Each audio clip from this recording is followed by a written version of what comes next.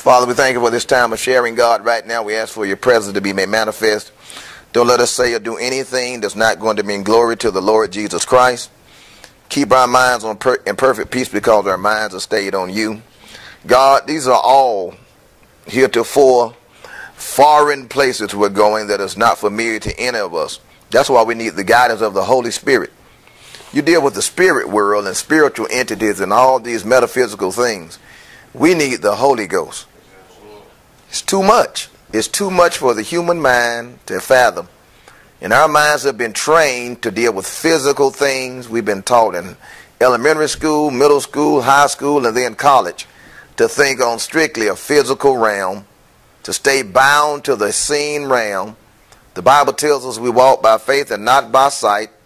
It's all about a metaphysical, supernatural thing going on in the Bible. But we've been conditioned and trained not to trust in the spiritual world, but to only trust in the physical world. That has to change if we're going to win this fight because we're dealing with metaphysical, interdimensional, extraterrestrials that are coming across that divide through portals to actually engage the human race. It's going to take another kind of person to deal with them. So God, make us into those people that will stand at the gates. The Bible says we'll war with the enemies at the gates. The elders in Israel sat at the gates of the city. There are people that need to stand at the gates that separate the seen from the unseen. There's got to be warlords that will encounter these invaders and bind them, render them helpless to set captives free. God, change our minds that we can now realize what we're really in when we got born again. Nobody knew what we were getting into when we enlisted into this army and we were born again. Man, we thought about going to church, singing a few songs, maybe a potluck dinner here or there, bazaars, you know, becoming a deacon or trying to be a preacher boy and all this other stuff. My God called me to preach and all that stuff. Nobody knew we were getting into the, the most dynamic, powerful war ever in the history of the universe. Nobody knew we had enlisted in an army. Nobody knew that we were going to be called to fight the fallen ones, the titans, the Nephilim, giants. Who knew that? That's why you have to systematically bring us to the level of, of understanding this, preparing us to engage the enemy. Because if we had known all this beforehand, we would have had a propensity to say, hey, look, man, you know, y'all keep that. So we've been slowly and methodically conditioned to understand what we're in. And now you've gotten to a people that will engage. That's what you've been waiting on. Some men who would lay down everything and engage your enemies. God, I believe we have them now formed up. Send us, God, equipped and armor clad into the battle for one purpose to destroy the works of the devil. In Jesus' name we pray. Amen. All right, let's slow it down to a crawl. Let's look at this thing realistically, you know. Before you get into this hyped up and excited, you really got to begin to evaluate this thing, what we're really up against. You know, I don't want to get in this thing all hyped up, talking all that bold talk and false brave talk and trying to be courageous and, you know, all that junk right there, man, will get you killed. Anybody ever been into combat for real? When incoming comes in, you got live fire something changes in the atmosphere. Then now it gets real. Notice how everybody talks real big in basic training? But boy, you find a lot of cowards out there that you didn't realize was a coward. And normally the guy that talks the most is the scariest person. You know what I'm saying? The guy that's quiet, he's introspective. He's been examining this thing and thinking this thing through. I was talking to a guy that was a, um, he was a sergeant in the army Matter of fact, he was a, uh, I think he was the highest sergeant you could be in the army, which is what? Sergeant Major. He was a sergeant major, command sergeant major. He was down in Honduras or some godforsaken place, and he had like, uh, I think he said he had about 20 troops with him, about eight women and 12 guys. And somehow they had an insurgents, some insurgents attacked them. He said all those guys dropped their rifles and start cowering on the floor crying his little eight girls locked and loaded, and they would lighten them up. Four girls would stand up firing, they'd drop back and reload, other four. he said, would lighten them up, man. And said, them guys over there crying and, and just in the, in the corner, scared to death, shaking and trembling. And them girls would just lighten them up. He said, man, I ain't never seen nothing like it. That same guy said he walked into a building trying to, you know, evaluate what was in there and everything. And he was walking through there, and all of a sudden he came around a corner, and a civilian guy stepped around the corner real fast, and he had a 45 in his hand, and he blew the guy away. Because he just reacted. You know, the guy stepped around real fast, and he just shot him. He said, man, that thing has plagued me all these years. The guy really, he on meds now because it's just plaguing him, you know. Point blank range, you shoot somebody that's unarmed and just innocent. That's heavy. But those are the casualties of war. That's why people come back with all kinds of mental things and stuff on them. And, and it takes God to get you right. You got to go to God and say, God, listen, I got too much on me. My mind is heavy. Depression coming on me. I'm dealing with all. Can you save my soul? See, military guys need to get saved because only God can get your mind in peace again and bring you back into order internally. Nobody knows what you've been through but you. See, everybody walks around looking normal, but folks carry a lot of stuff on them. And only God can reorder your soul to get you back in peace again. Now, I don't care if you came from dysfunctional families. I don't care where you came from. It don't make a lot of guys been molested. People don't tell you they've been sodomized to the boy. They don't talk about that. But they carry it inside. So you got to go to God and say, God, I need help, you know. He can fix anything. If he made it, he can fix it. You can't go to a Ford mechanic at Ford, you know, co corporate headquarters you go down there, they're going to say, you tell them, hey, man, this, this Ford messed up. If they made it, they can fix it. If they got to take it all the way back apart again to fix it, they can fix it. So my thing is, if I got an internal problem, man can't fix that because man didn't make me. I need to go to the designer and the person that fabricated it. You know, you want to find out that you guys work at GE and these engines, jet engines. Don't go over here to some foreign wasteland trying to get that jet engine fixed. Go right back to GE if they got a constant problem occurring in the engine, then they got to go to engineering and find out why is this thing continually happening. And they got to do what? Deconstruct the engine and back out of the engineering and see, pick it apart and see, is this right here? This part right here, this chip right here is flawed. You know, if you get continual problems, you got to deconstruct. So right now we have to deconstruct the church. You see us now, if you don't see any power coming through the church, somewhere we have a flaw, there's a design flaw somewhere. Something is wrong. So we're searching to find out now, why don't we have power flowing? If you read Acts, you read Acts, it'll leave you in tears like, man, these guys here, they're generating raw power. And now we are totally deep, de degressing and coming to a place of total disempowerment. Something is not right. Why are these eight girls jumping up, lighting up the enemy, and the 12 guys cowering in the, in the corner? It's all about how they were raised. It's all about their hearts. It's all, it's all about castration. And the girls weren't castrated. In homes, especially the black home, you find the empowerment of the women and the disempowerment of the boys.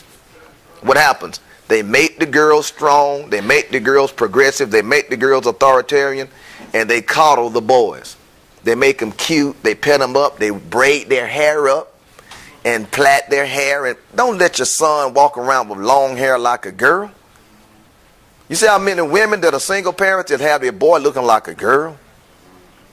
This is this is what's doing it.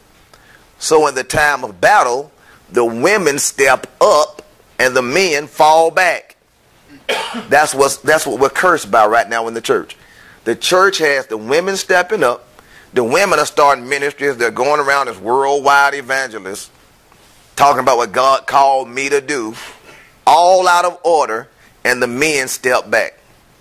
If that doesn't change, we got a cursed church that has no power because God will not anoint what he did not design.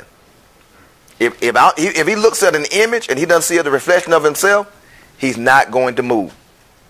You can pray, we can pray until the cows come home. We can fast till we're down to 65 pounds, each one of us.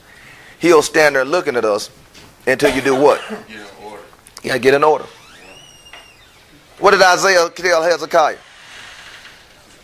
Set your house in order. You're going to die and not live. What happened to Eli with Hophni and Phineas? He had two rebellious sons out of order and crazy, and he ended up cursed because his house was out of order. They were there laying with the girls in Israel, fornicating with everybody, and he wouldn't check it. See, that's what I'm saying.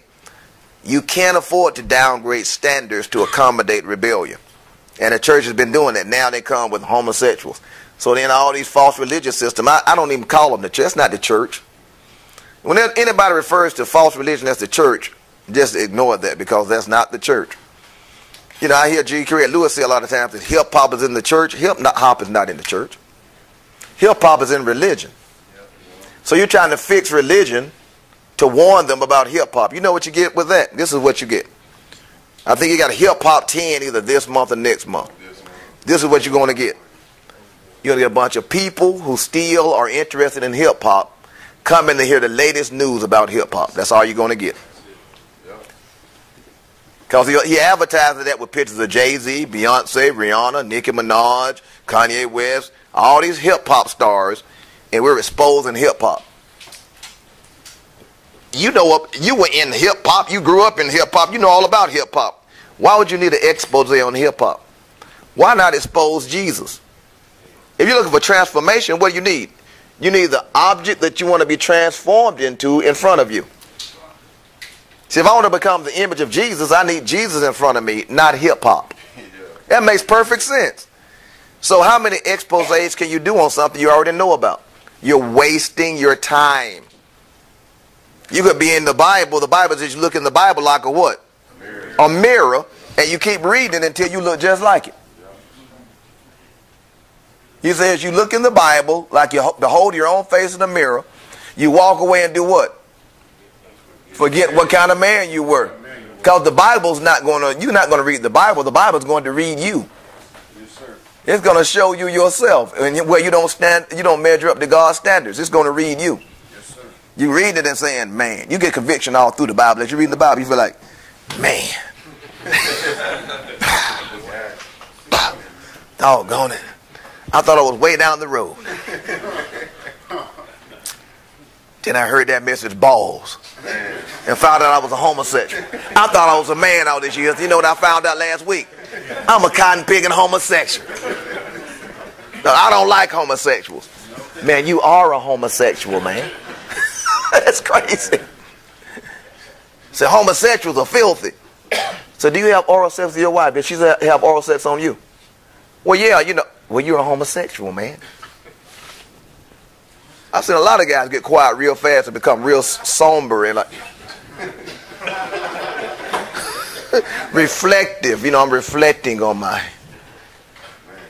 homosexual. I am, I am a homosexual.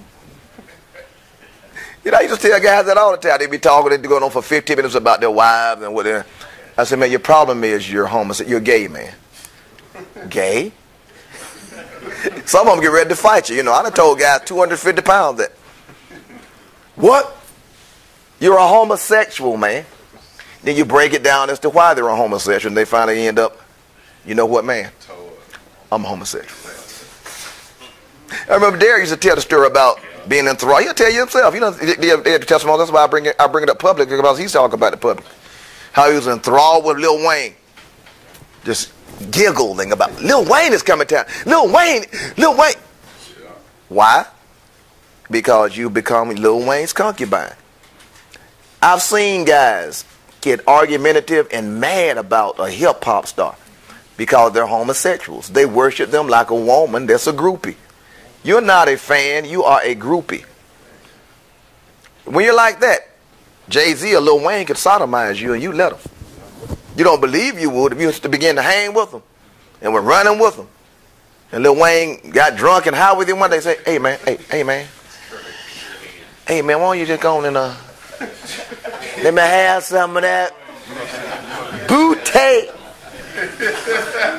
Next thing you know, you're in the back, bent over a chair squealing.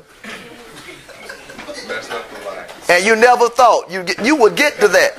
When you're in that spirit and it's driving you, you will do what you never thought you'd do and wake up the next morning feeling like a dog, feeling like nothing, because you gave this guy your trunk. That's crazy.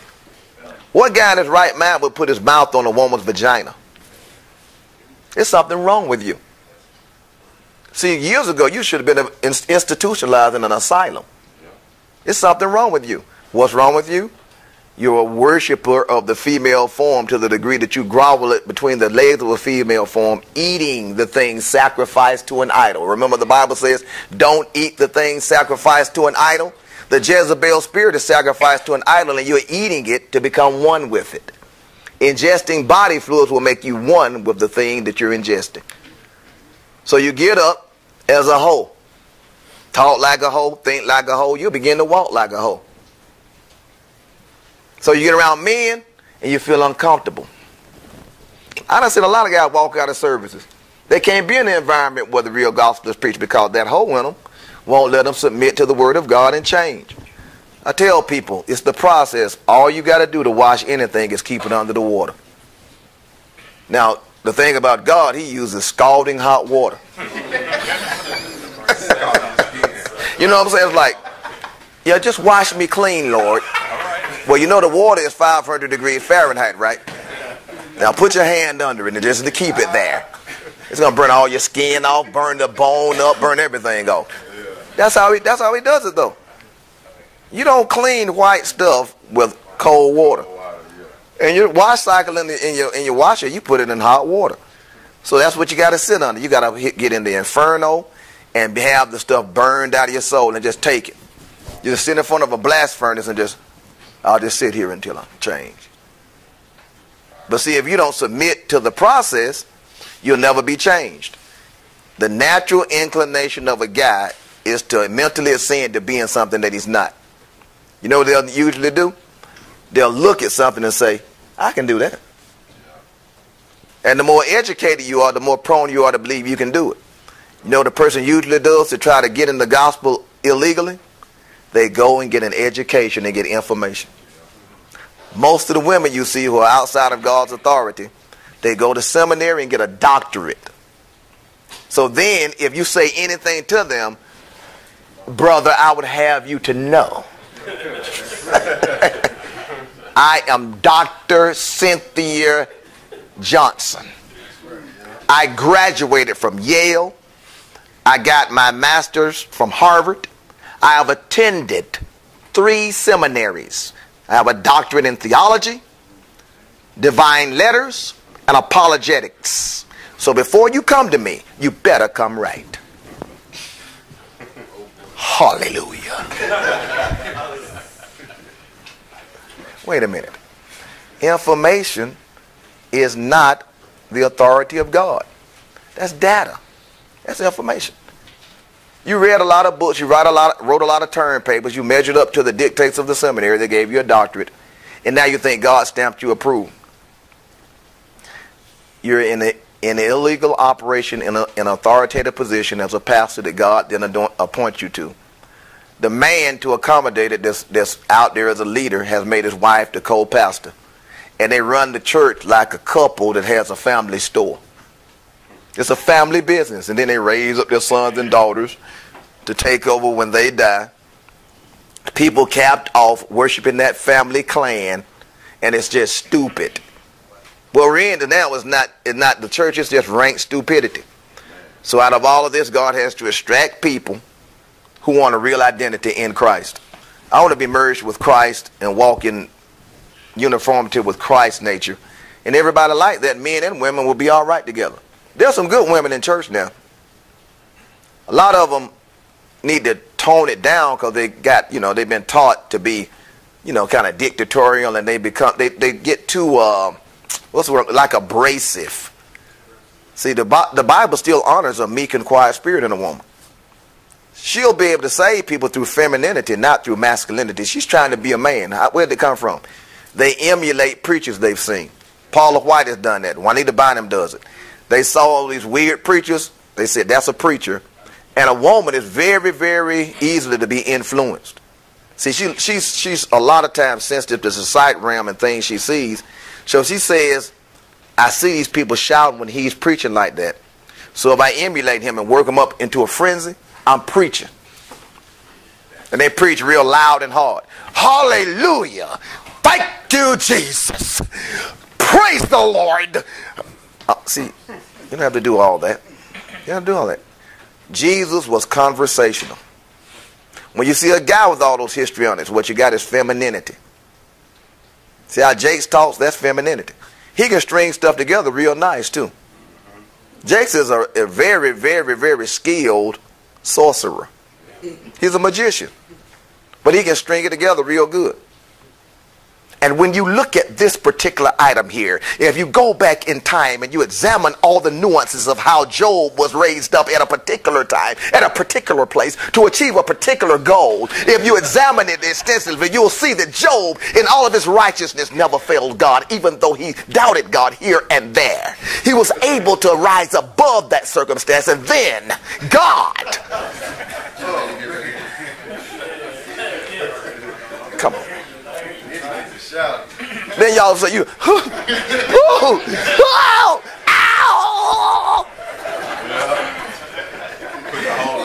You know what's really happening? You are being spiritually sodomized by a magician. Illegal entry through your soul is sodomy. He didn't come through your spirit deep, calling the deep. He entered your soul and he's sodomizing you. Folks are sitting in church being sodomized. You know what they're going to join to? That preacher. They're going to be anchored to that preacher's personality. So if you say anything about the guy that sodomized them, they'll be offended by it because they've been joined and yoked to a sodomite, sodomized until their brain snapped, and they joined to the sodomite.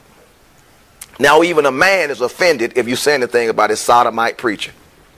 Eddie Long is still walking around Atlanta yeah. at New Birth as a sodomite. The people sit right there because they've been sodomized by him so long that the sodomite is normal and a man of God or a woman of God or anybody under the real inspiration of God is now foreign to them. Preaching is not histrionics and gymnastics, it's conversational. With all of your getting, get understanding. There's no human effort in God's word. You just tell it, and a person's spirit that's receptive to it can hear it, obey it, and walk in it. It's almost like people that are just in a flat line, unemotional state. Now God can come upon you and you can be, you can become emotional. You'll cry. You can run, jump, shout. I've seen all of that. But you got to be anchored in that word, man. And your mind got to be anchored in the logical, analytical presentation of the Bible, not emotionalism. Emotionalism is going to run out and leave you dry. And you'll need another fix on Wednesday and Sunday night to get hyped up again. That's why people go to church. They go to church get hyped up on Wednesday and Sunday to make it through another three days and get another fix like a heroin addict. It's all it is. You're addicted to the fix. Personality driven trash is useless. This thing got to be done on the inside of you. You got to have an internal work done that will be in eternal and it's all of its consequences. So you're seeing now, as this thing develops, people who have not really submitted, submitted to the disciplines of God, like a Marine going through boot camp, they're not prepared for combat. So as the spirit world begins to open up and these portals opens and, and these entities come across, folks are going to draw back by the hundreds of thousands. Of, man, everybody claim to be saved. Most of them going to go back. I'm telling you right now before it happens. When you're called upon to really stand up against real Nephilim and people that have been embodied by supernatural forces, they're going to draw back. Nephilim have been embedded and, and have been incarnated in powerful people now that look like they're doing humanity good, but they're just Nephilim. The White House, Nephilim. The Pope came to America as a Nephilim. See, it, it's inconsequential what you hear them say that's good because it's a Nephilim talking to you. The devil will embed 5% of a lie in 95% truth. You got to know that about them. They twist things to make it sound beneficial to everybody. What sits on the view every morning? That's a council of the Nephilim. They just talk about things and it looks so normal. Whoopi Goldberg and Raven-Symoné and Barbara or Walters, all these folk look like just normal, everyday people. What's so terrifying about this war is the fact that the devil has, has, has absorbed himself into human personality to the degree that he looks normal. He likes to show you extreme things to make you believe. That's the devil right there. Somebody yelling or screaming or shooting people up. The devil. But the devil is sitting right next to you on your, at your job. The devil is your supervisor. The devil is the school teacher. The devil is the principal. The devil is the person right over there gardening in your neighborhood you're waving to. The devil leaves, lives next door. Some folk are sleeping next to the devil. They're all right until you get ready to do something spiritual. Then all of a sudden, you see the devil rise up. Because you're sleeping next to a Nephilim or, or a demon or something is in them that responds to spiritual things. If you're goofing off, if you're barbecuing or, or watching TV or watching a movie or watching a game, it's all right. But when you get ready to do a spiritual thing, when you begin, begin to get closer to God, you'll find that thing. It, it, it, you can feel the elements of. You'll feel the animosity towards you. You know, you wonder why you why you acting so funny now? Because they know you're getting closer to God. Do you know how much the spirit world reverberates because guys get together just to deal with the Bible and deal with the Lord and get close to the Lord, pray, fast, seek the Lord?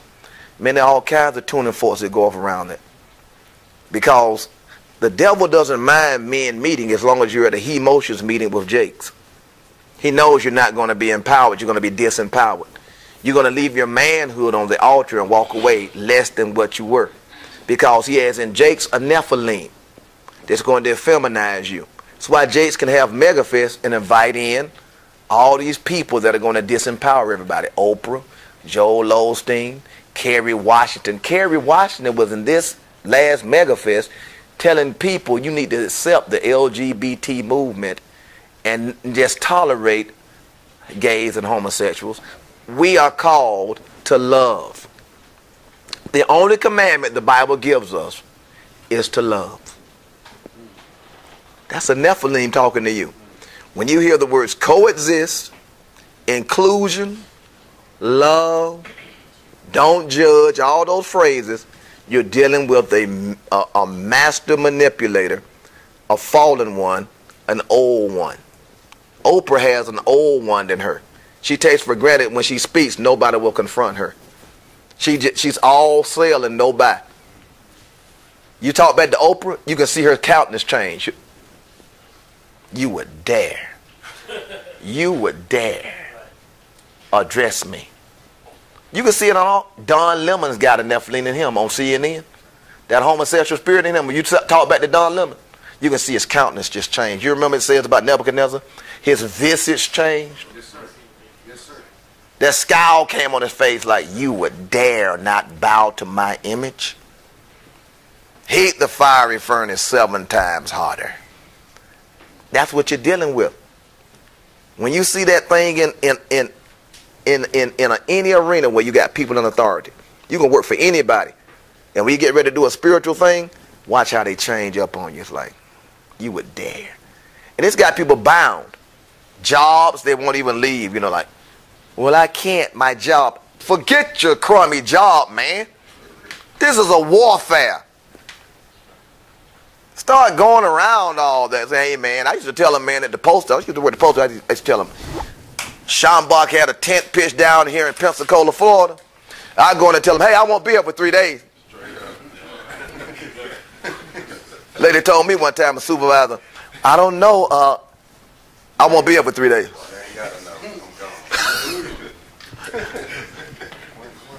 I just put the stuff on the table. Here, here's my slip. I'll see y'all on Friday. Be crazy. You just go crazy on them. See, if you had crazy folk will back off, you're like, don't mess with him. He kind of crazy, kind of off a little bit. he might go off, you know, that postal shooting stuff. You know, you don't, you never know about these people. you gotta be like that sometimes, man, because Schambach got this tent up, and when that big blue gospel tent went up, I'm going into the front row, cause that joke would hit you heavy, man. I just sit and just take, like I was in front of a bold speaker, just walk out all beat up, torn up inside, crying. I go back for another dose of it whenever he pitched that tent again. Cause I want this stuff washed out of me. I knew I was messed up when I came in this thing. I didn't come in this thing right and logical and a, a man. I need somebody to help me, man. I need somebody to perform, perform surgery on me. Because I got problems, man. Deep rooted problems. Nobody comes in this thing perfected. You got to be made and forged into what God wants us to be. So you see now, as we slow this thing down and really begin to look at it, back away from it so you can see it real good. We're dealing with these fallen entities that have supernatural powers. These are superheroes. These jokers have real power, and they will use that power if God doesn't restrain them. a lot of times you pray prayers like, I bind the devil, and you feel like nothing happened. But if you didn't get killed today, you know why? The, the devil was bound. Yeah. See, if you, the devil wants to murder you today. If you pray the prayer this morning saying, God, I bind the devil, I bind his influence, I bind what he's doing, I bind him over my family, I bind the devil in my finances. Now, if you don't go under and get killed today, the devil was bound. Because his goal is to wipe all of us out by this afternoon. So if you don't see the devil, all the people that got killed yesterday and today and you weren't one of them, the devil was bound over you. So don't take words for granted when you pray. There'll be an answer. There's a, there are warrior angels all around us that are binding the devil. But we're unconscious of it. We just walk around like, oh man, you know, hey, you know, I had good luck. They tell you, good luck, good luck. I'm lucky. Man, I almost went over that cliff driving up here. You know, it's a, a steep drop over here coming up these mountains. And my car slid and it stopped. Man, I was lucky, man. I was sure enough lucky. You weren't lucky, man. Luck comes from Lucifer. That's where the word luck is initiated from. It's God binding the devil. The devil wants to kill your kids. The devil wants to put sickness and disease on folks. The devil is always attacking. Remember Job? The devil went before God asking for access to Job. It's always going on around us. We're just not conscious of it.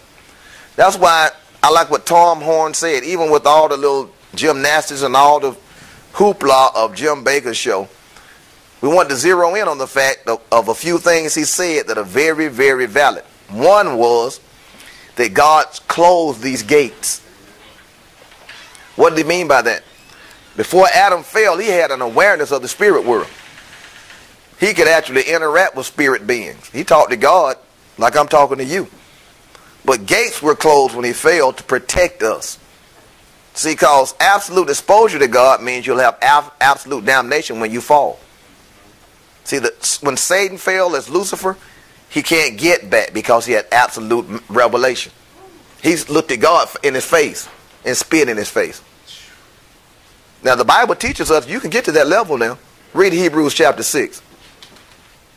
And, you, and the final step is, and you taste of the powers of the world to come. What does he say next?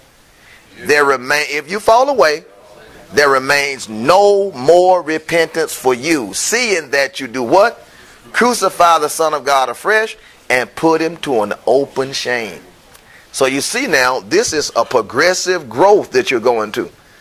Through you're going through a gr- progressive growth where you finally get to the, you experiencing the powers of a world that's going to come in the future. Now, when you when you breach that portal finally, and you see that power flow through you, and you're experiencing that supernatural existence, if you fall away, you're damned. So most folks at that point step back because when I figure if I don't go all the way into that, I still can fool around and repent and pray every day for forgiveness and that kind of stuff. And so you know, it's a it's a rare person that want to go into that metaphysical warfare zone, whereby I know what I'm doing, and if I cross over this divide, I got to stay over here, and you got to live differently from everybody else. And the thing about it is you won't act strange. You'll be the supernatural normal one. Now think about what I'm saying. This is why I'm slowing let's slow this thing down. Let's slow this thing down to a crawl.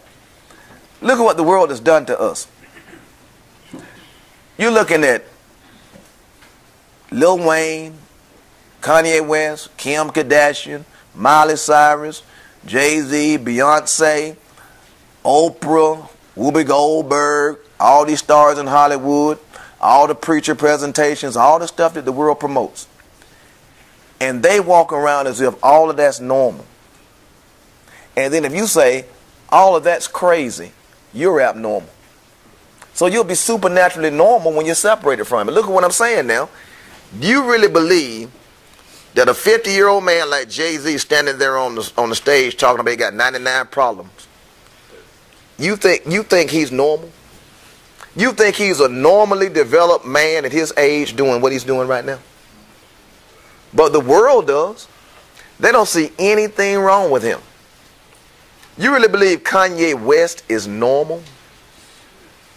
You think Beyonce walking around with a little spank baby, a little baby girl, butt naked, in public, with no drawers on, you think she's normal?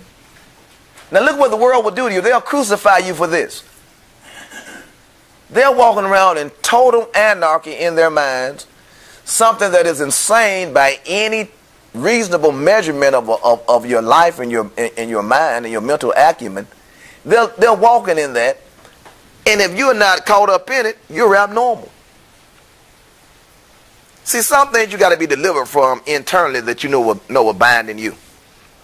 Like, I'll tell you a good one with a guy. You know the feeling you got when it's fourth down and one. See, Falcon fans know all about this right here. the feeling you get when it's fourth down and one and you lose two yards. And that thing inside of you is like, I can't, and that anguish, you know, football can put make you feel anguish. It shouldn't be doing that to you. These guys are millionaires. Do you really think they really care that much about this? They might feel a little heat about, man, we lost, man. And uh, but I got this Maserati outside, and one of these babes is cheerleading. You see those two babes right there that's cheerleading? They'll be at my house tonight, and I already got the cocaine and all the stuff, and I'm living in a three hundred thousand dollar penthouse and you know the you know the game was bad. You know you know how the guy used to fall off those skis on ABC talking about you know the agony of defeat and all of that. It might last for 15 minutes after the game, but all the fellas coming over after the game, both the players on our team and the other team, the whole cheerleading squad is coming over, and it's gonna be on and popping. I think all the Vikings went out on a cruise ship with a bunch of prostitutes and porno stars you think that, do you really think these guys care that much? Can you really get down to the one or two yard line with beast mode in the backfield and throw a pass, man? The fix is in, man. Let's get serious. Nobody, no offensive coordinator in his right mind. First down and goal to go from the two yard line. And you got this joker that can run over linebackers, man. what? You come on, man. Let's get for real. We, we, we're seeing things that are, you see sports and you watch things, and you're sitting there like, with your mouth hanging over like, and you looking at each other, you and your buddy sitting there. what, what kind of, what kind of fool, man? Throwing stuff and busting the screen out of your TV, you know, throwing beer bottles at the TV and stuff. See, that's one of the things that ties you to the world. But when you can watch a football game and I enjoyed it, that's a good game, boom, boom, boom, yeah. And you ain't caught up in it and you don't spend like three days, you know, agonizing, it's running back through your mind. You running that play back through your mind over there. Let's see. Depressed, driving to work for two days, thinking about First down and goal from the two yard line, man. Going back home, you know, you recorded the thing and watching it again. And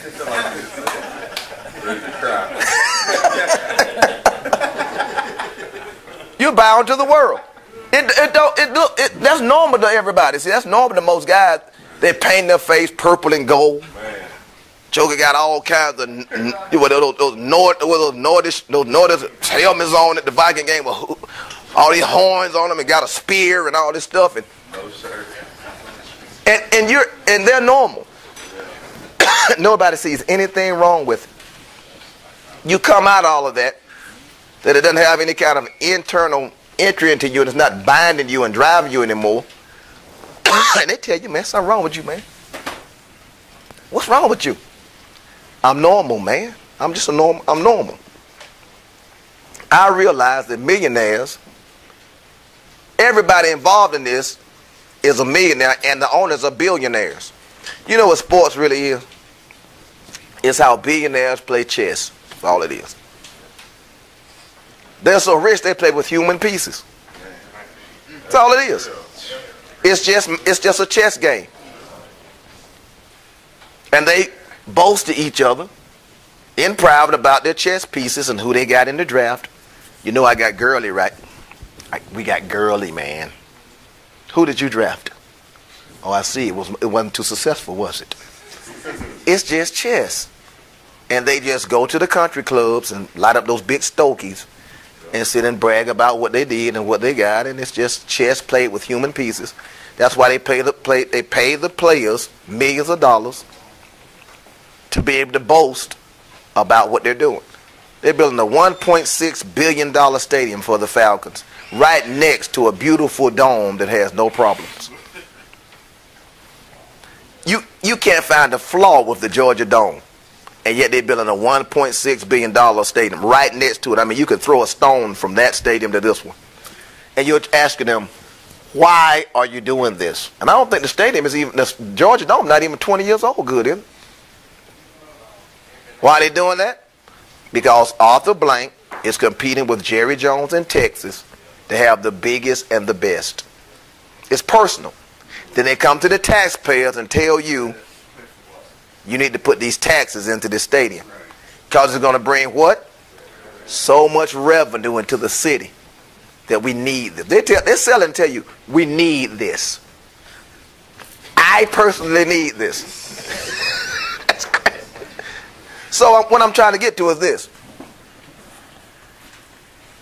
The Olympic Games in the, in, in the Greek and Roman Empire was really all the different regions coming together to compete. And who were they representing? The gods. The gods play chess using human pieces. The Nephilim and the fallen angels like to pit humans against each other and just to make it into a game. The master game they play is when you see a world war fought. Did you not know that Germany has a, a, a, a governing angel over it? France does, England does, America does, Jap Japan does, Russia does. All they do is kill hundreds of millions of humans to play chess. Just to say we won, our, our, our team won.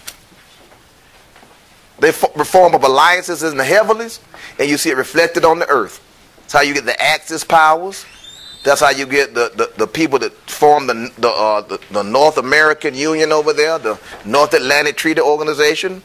These are all fallen angels combining forces to reign and get power. When you really extract your mind to realize what we're up against, you see the world and everything that happens in a whole new paradigm. So you going you don't get drawn into it.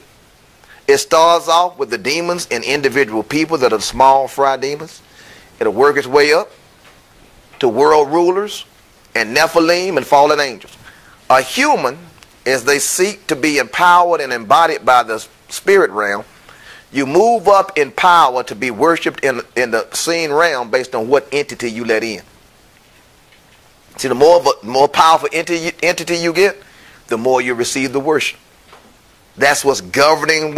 There's no reason for anybody to be drawn to idiotic stars and rappers and Hollywood uh, uh, people and, and celebrities. There's no reason for you to be even interested in what they do. Why does Yahoo and your other news feeds keep telling you about Kim Kardashian? Now they tell you about Kourtney and they tell you about Khloe. Now they're talking about Kendall and all the little, those little 18 year old girls. Why would an 18 year old girl matter to anybody? Because they've been embodied by entities, and the devil knows who he can exalt, who he can use based on the entity in that person. He'll only use a person he can trust. If the devil can't trust you, he won't use you. Because you might get into the wrong place at the wrong time and say something he didn't plan on. He was using Tupac. Tupac was saying stuff he didn't want him to say. Tupac began to talk about the New World Order and the elite, and he went into that Illuminati stuff, Illuminati and all this stuff. See, the devil said, you know what? I'm giving an order to, to off him. Kill him. That came down from headquarters in the spirit world. He'll use physical pawns to do it. But that comes from Satan direct, down through his hierarchy. Orders come down to kill. Michael Jackson was getting ready to go on a worldwide con con concert tour. The devil saw him practicing. He saw he didn't have it anymore.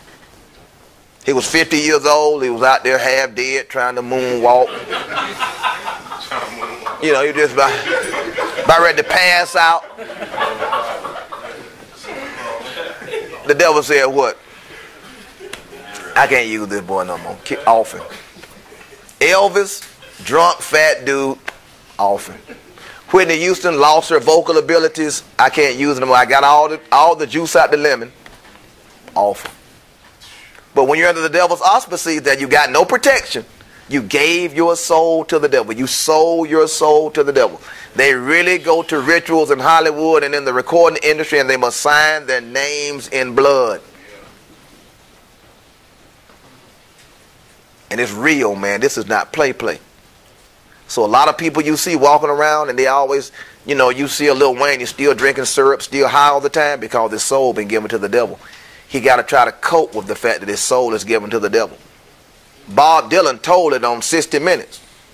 I got to pay the man, man. I, I, and then, and then I think Dan Rather said, well, who you talking about? No, that black guy was talking to him. He said, who you talking about, Bob? Who you?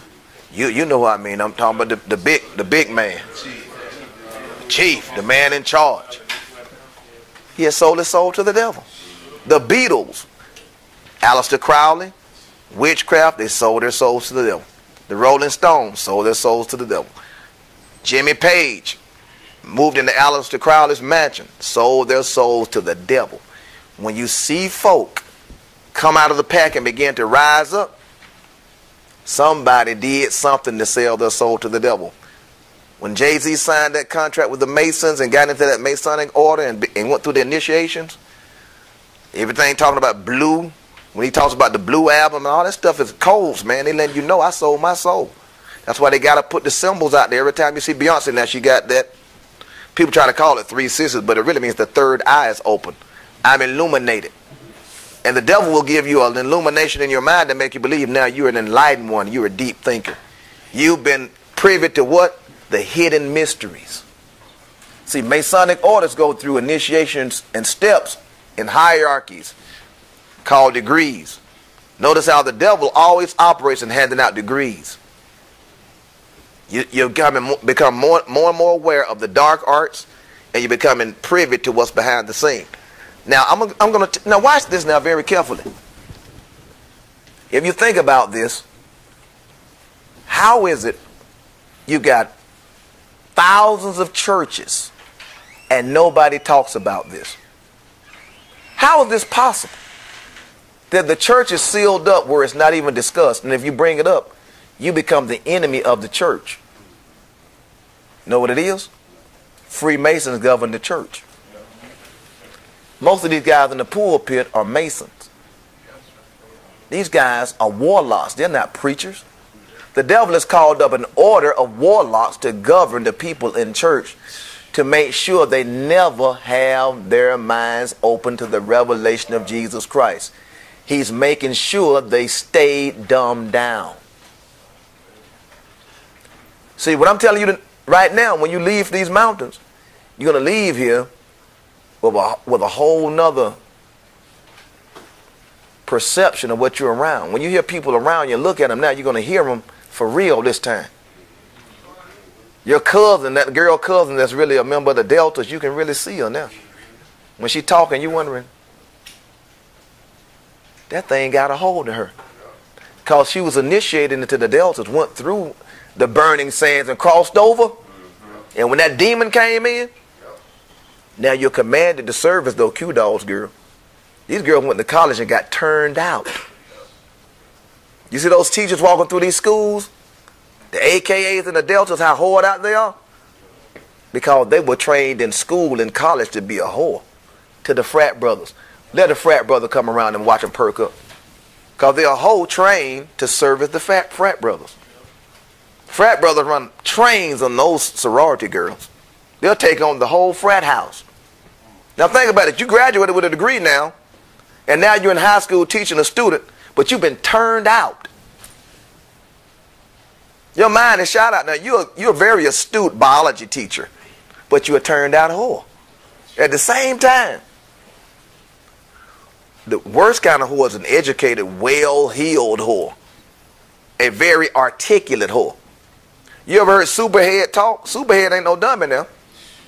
Superhead can say things that'll make you like, you know, she's really bright.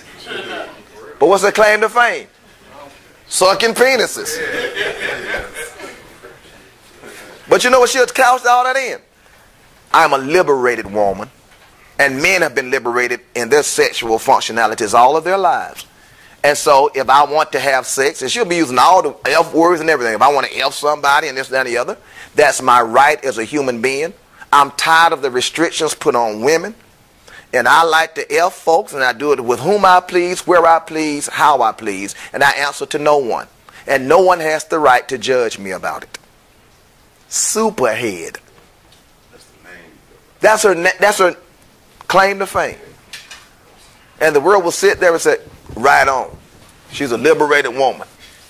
That's what I'm talking about right there. She's bold, she's brash, and she comes at you and let and she speaks her mind. And I man, I respect her. I want to be her. Young girls want to be Trina. Young girls want to be Nicki Minaj. Girls in the fifth and sixth grade performing oral sex on guys in the bathrooms. I talked to a custodian the other day. Walked in the bathroom, the guy had a girl in a, in a boy's bathroom, butt naked. He just in there tearing the girl apart, having sex with her on the floor. A nasty, peed up, stank middle school floor. The guy jump up, semen all over his pants. He said, man, get out of here. What you doing?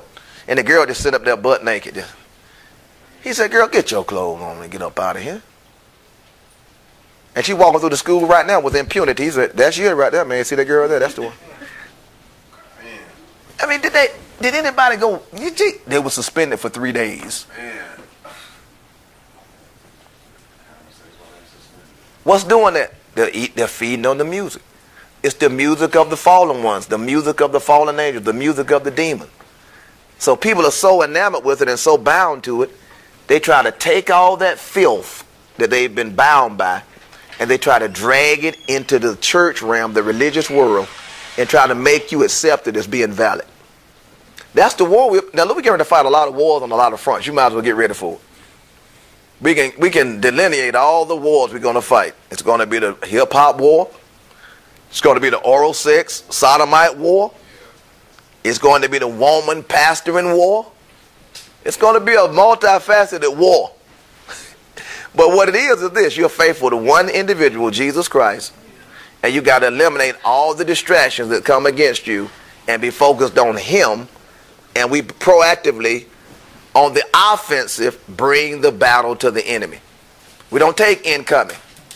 We don't take incoming. Like I said, the guy wrote me a, a message this morning talking about man polygamy is, is, the, is the truth of the Bible. And you're in the delusion preaching and teaching monogamy. That's a delusion. You need to repent, brother, and I'm praying for you. So at that point, you say, hey, man, don't talk to me anymore in life, man. Because you don't have time to be, I can't go back, I can't go back and forth. You, you're, you're entrenched in that craziness. Reading a Bible that you said you read, and you came to that conclusion. Hey, man, you know, the Bible says don't even wish him Godspeed. Hey, man. See you, man. I just tell them you're wasting your time talking to me. I don't believe that trash and I never will. I got folks coming at you. They'll come at you. They come at me the same way. Y'all get the same stuff shooting at you, you know. Guys trying to make you believe in that black man stuff and Hebrew Israelite stuff and the Sabbath days, all that junk they're shooting at you. Hey, man, hey. If you want to believe that, that's fine with me. I'm not mad at you. Why you mad at me? Notice how you don't you don't carry any kind of offense or any anger toward them, but they get irritated and they get mad at you. That's because that's a Nephilim. That's a that's a demonic entity that wants to pull you into the realm of delusions. And when you don't bite, take the bait and you don't bite, you dirty low down. They, they hate you because that's demonic. But when you're just focused on Christ, the person, and not doctrines, see, you're not about doctrines. I'm about an individual. that I met that saved my soul, and I'm faithful not to doctrines and dogma and data and organizations and denominations. I'm faithful to Him. You see the disparity there? They got a bunch of faithful doctrines that they adhere to. You're faithful to a person. They're faithful to denominations and organizations and doctrines. You'll never find those people unified with, with the church, not the real church, because we don't get caught up in doctrines. We don't microscopically examine doctrines. We're dealing with a person. A person. So you see now, how do you stay free from all the distractions? I call it a vertical journey. Journey. You got to have a vertical victory. A vertical victory that is designed just for you as an individual. We're going to watch a uh, movie this evening as we eat dinner tonight when we barbecue. We're going to relax a little bit and watch this movie entitled Fountainhead. We changed it to Fountainhead. And it's about a guy that's being, you know, he's being accosted trying to make him conform to the collective, the universal collective. If you understand communism, they operate in a, a structure of collectivism whereby everybody must conform to the collective, the collective good. You, you, you lose your individuality and you now conform to the ideals and the ideas of the collective. That's going to eliminate all what? all individual desire, all motivation, all dedication for you trying to achieve things. It's going to make you into a universal clone, and what the devil is depicting now is just a zombie. You just mechanically do what you do as a part of the collective. You expect nothing more than what the collective gives you. Everybody has a flatline salary. Everybody's the same. We don't have anybody that's an elitist or anybody above anybody. What they do is they dumb the people down to accept communism, and then this elite, illuminated group rule over them. Putin is a billionaire, but he's telling you you need to just serve the government and serve the collective. While he's prospering and living hound the hall with mansions and everything everywhere, all these women and just dr- drinking the best wine and the best Russian vodka, and telling you you need to just support the collective. That's how the devil does it. That's how churches are set up. The church is a collective called the laity, and we are the ministry. And you people should all get together as the collective and serve under us. The real job of the ministry is to get everybody a personal identity. You get to Jesus, and whatever he tells you to do, do it. If I never see you again in life, good. Be about the Father's business. We're not trying to get a bunch of folk to follow anybody. People hate this. Why?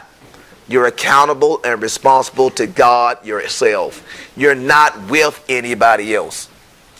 That's hated. You, you might, I'm telling you, I've, I've learned over the years, that is a despised message.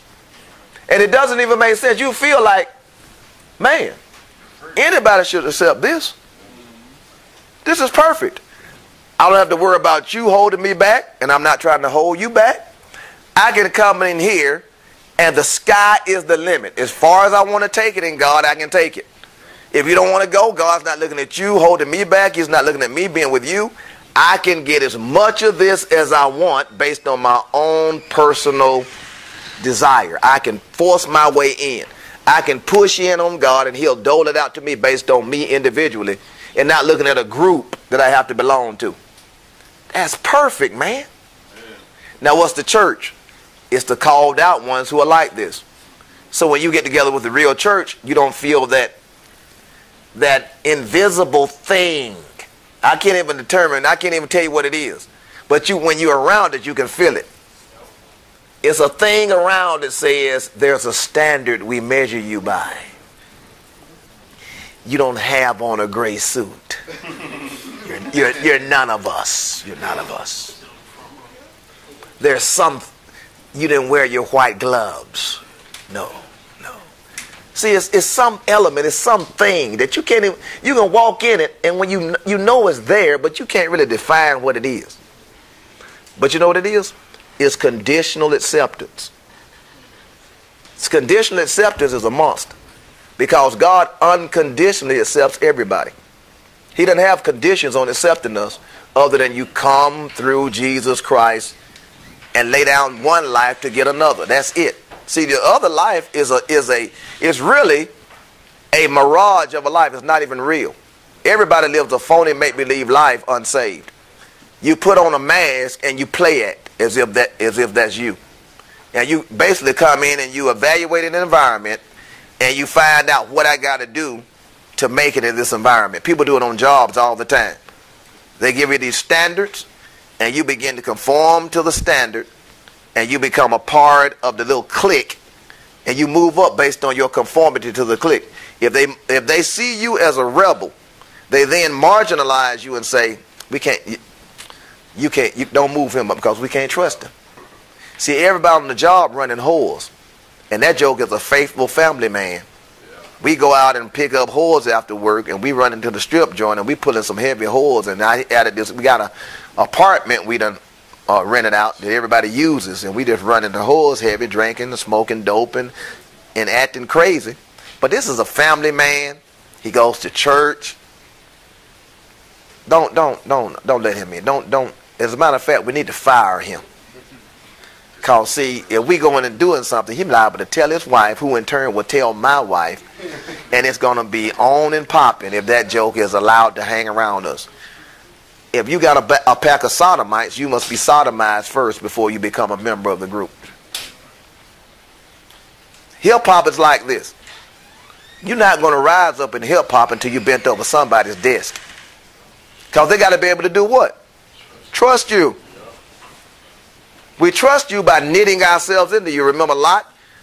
The Sodomites said, What? Bring them out, that we may make of them what we are. The Bible used the word know. That word know is about intercourse. Intercourse binds souls together, it knits souls together.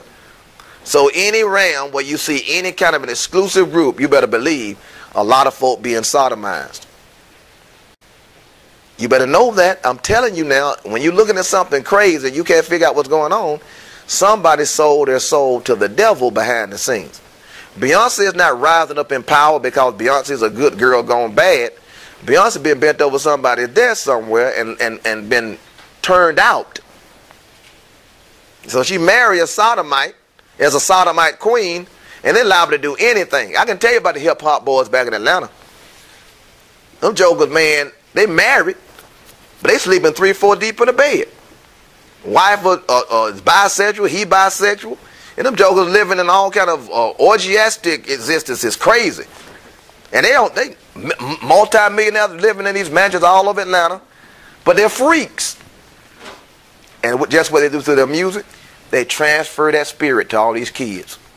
And why? Look at the kids metamorphosizing right before our very eyes into freaks. If you got kids, especially young girls, the devil will turn them out. He'll turn them out, man. And you try to protect your little daughter, but you send her to school. I mean, you raising up in the fear and admonition of the Lord, but that boy in the first grade, next to who, whose dad is watching pornography and he just plugged into it, he in your daughter's ear in the sixth grade, showing his, showing his penis to her on the playground. Look at this, Jamala. Look. Touch it. You want to touch it? Come touch it. It's supposed to go in your mouth. I saw a movie, it go in your mouth. And the girl sitting there seven years old, six years old. That's what's happening. Who's doing this? The fallen ones infiltrating. So you protecting your kid with all you got, and the devil's still trying to get to them in school. That's why we got to have Christian schools. We got to separate from this stuff, man, because we got no choice now. We fight a tremendous battle to try to raise up from folk to say, look, man, let's come out from amongst them and get this done. Let's do what we got to do to separate and sanctify ourselves. It's not exclusivity, it's sanctification. Sanctification, by definition, will make you exclusive. You can't help it. God is not all inclusive. God is exclusive. You, if you read the Bible and see inclusiveness, you're blind. It's a separation in this Bible. You sanctify clean dishes from dirty dishes. Their value system is not our value system, and they will contaminate your kids in school. I saw my kids come through private school until we couldn't afford it anymore. My oldest son, he made it through the 10th grade and finally went to public school and in the 12th grade. So he came out pretty much sanitized from the filth. My next son, he made it through middle school and went to the ninth grade in high school. It hit him hard because he came through a private school, but when he got to high school, he felt the need to try to fit in. My little girl, she didn't even make it through middle school without that thing beating her head in.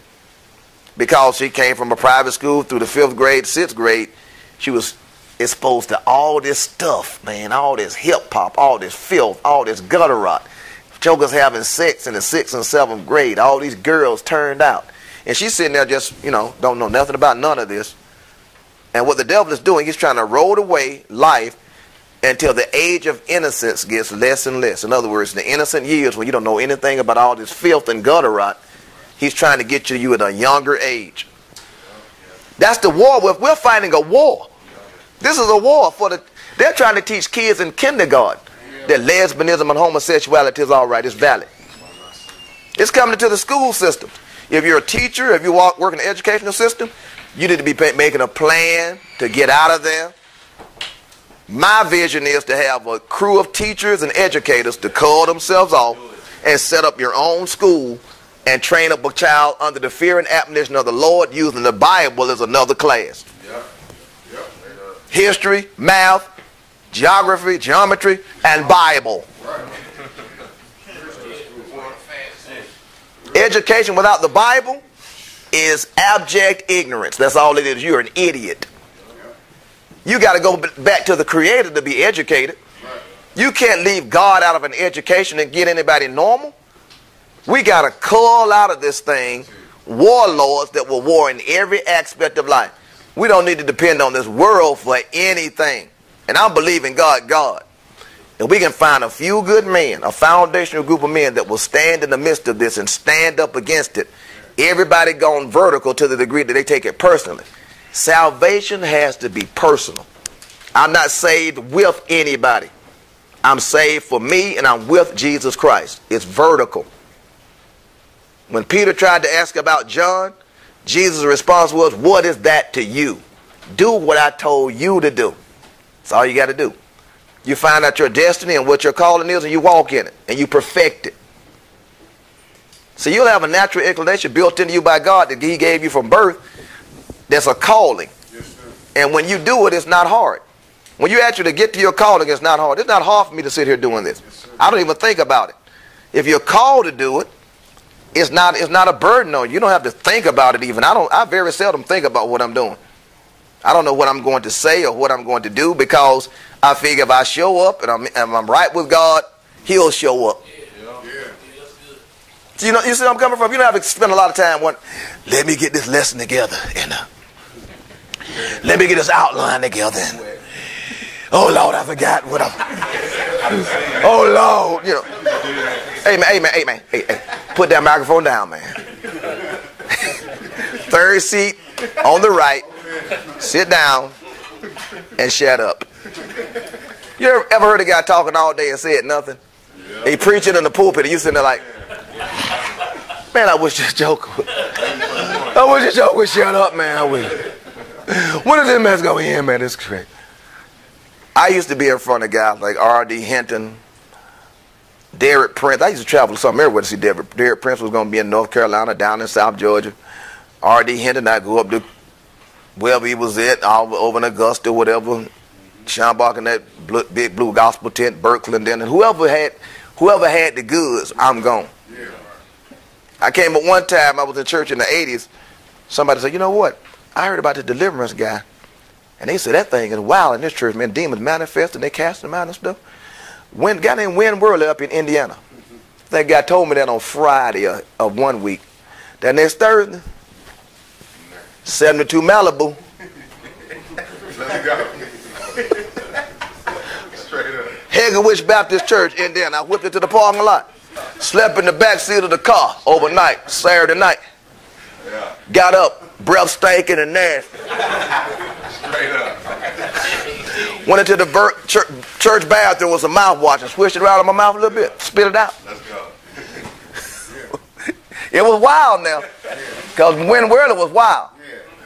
But if I heard something, I'm going to see for myself. Mm-hmm. See, folk laid back depending on other folk.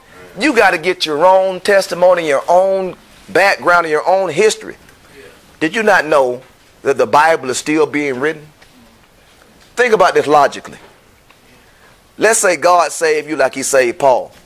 And you got a scribe following you around writing what you're doing. That's as valid as writing what Paul is doing. Think about what I'm saying now. You're a living epistle read of all men. The Bible is still being written through your life. It didn't stop in Acts. It didn't stop in, uh, in Philippi or Thessalonica. It's still being written with your life being lived out. If you had scribes recording our lives, we'd be as valid as the apostles or Timothy or Stephen or anybody else. See, see how limited we are in our thinking? Well, the word. Man, if it ain't in that word, show it to me in the word. You become a living word. How can you have somebody prophesy right now and be valid if you're not valid? God is not dead. God is alive. He said, I'm not the, I'm not the God of the dead. I'm the God of the living.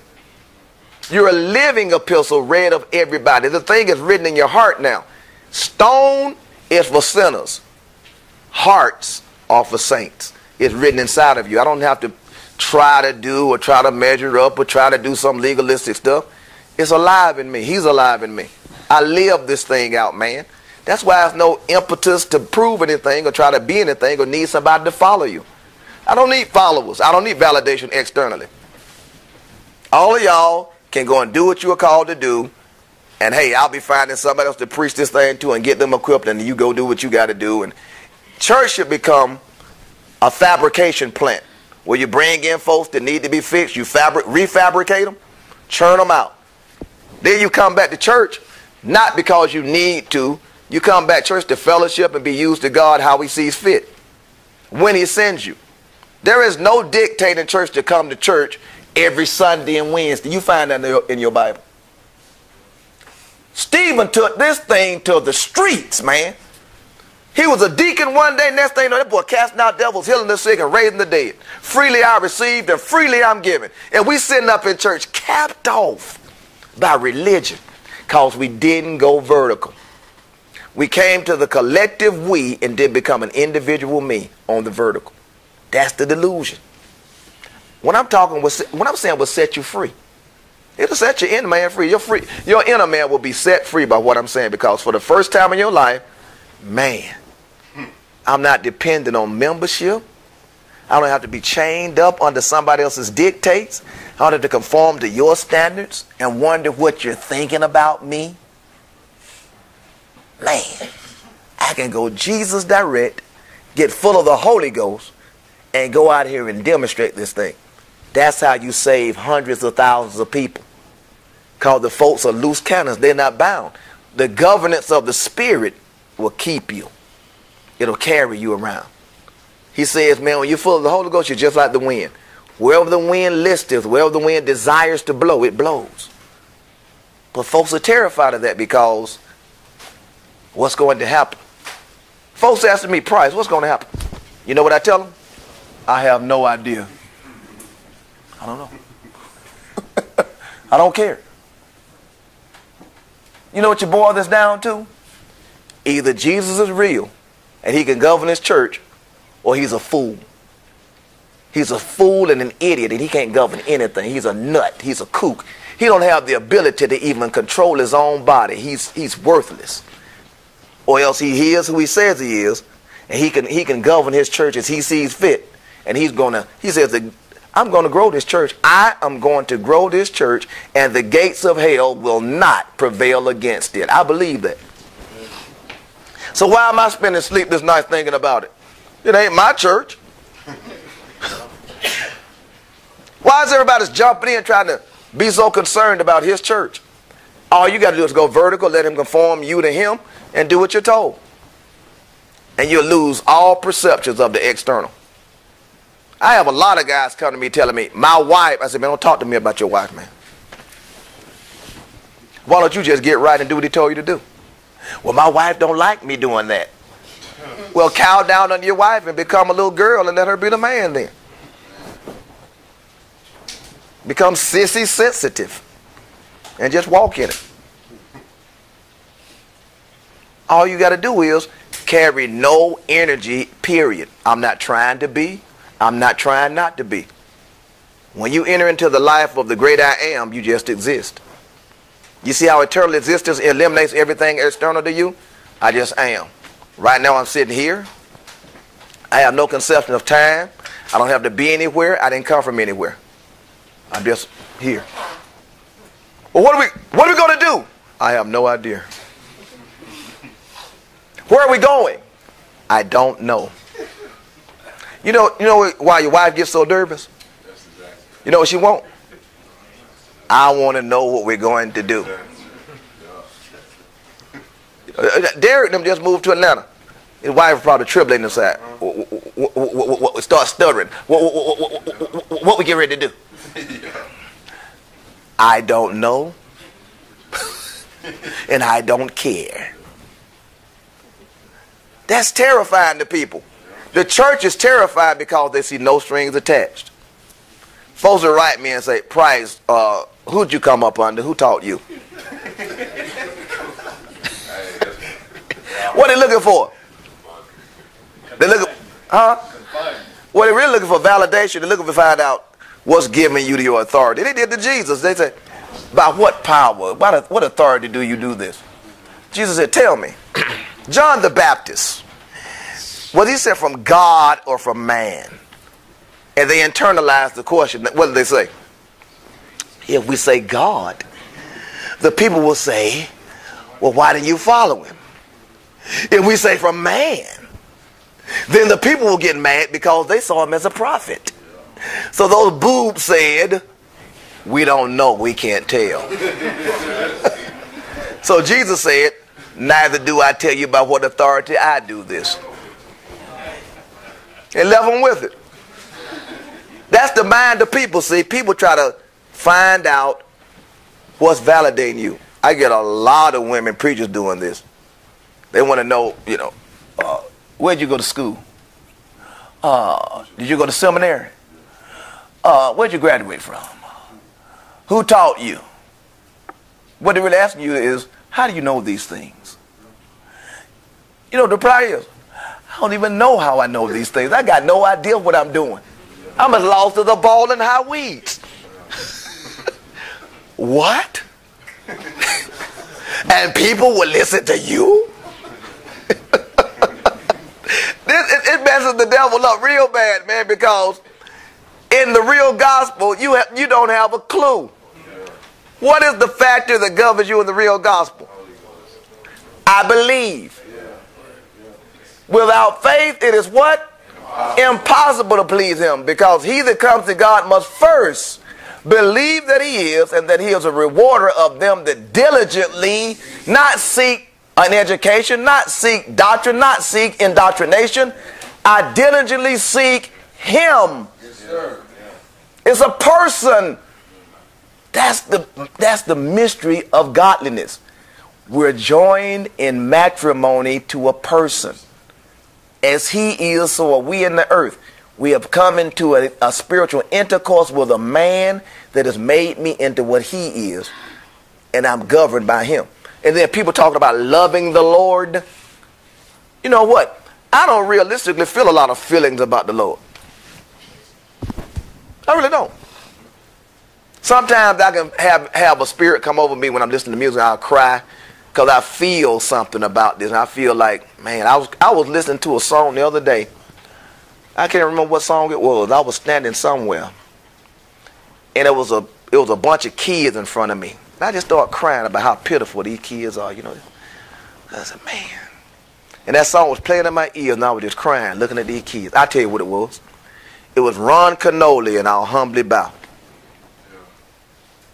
You know, we'll, we'll blast that out today, and you can listen to that song when we, end, when we end this message. But I humbly bow, and I was looking at these kids thinking, they look just like sheep without a shepherd for real.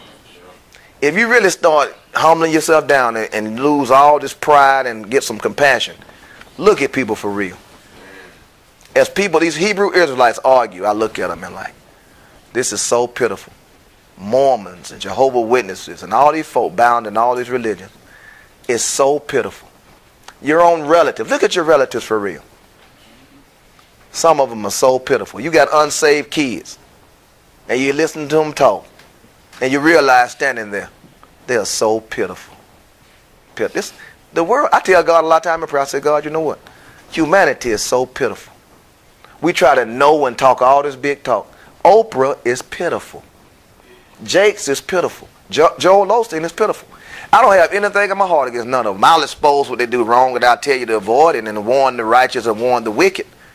But all the time I'm thinking inside of me, they, are so pitiful.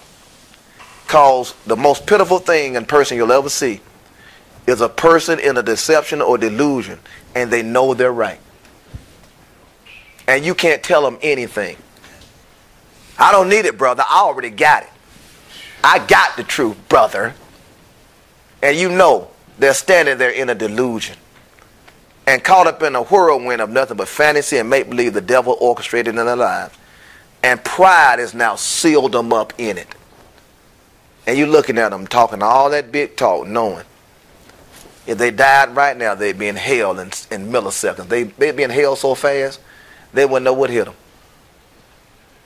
That's, that's what he says, knowing the fear of the Lord, we warn men.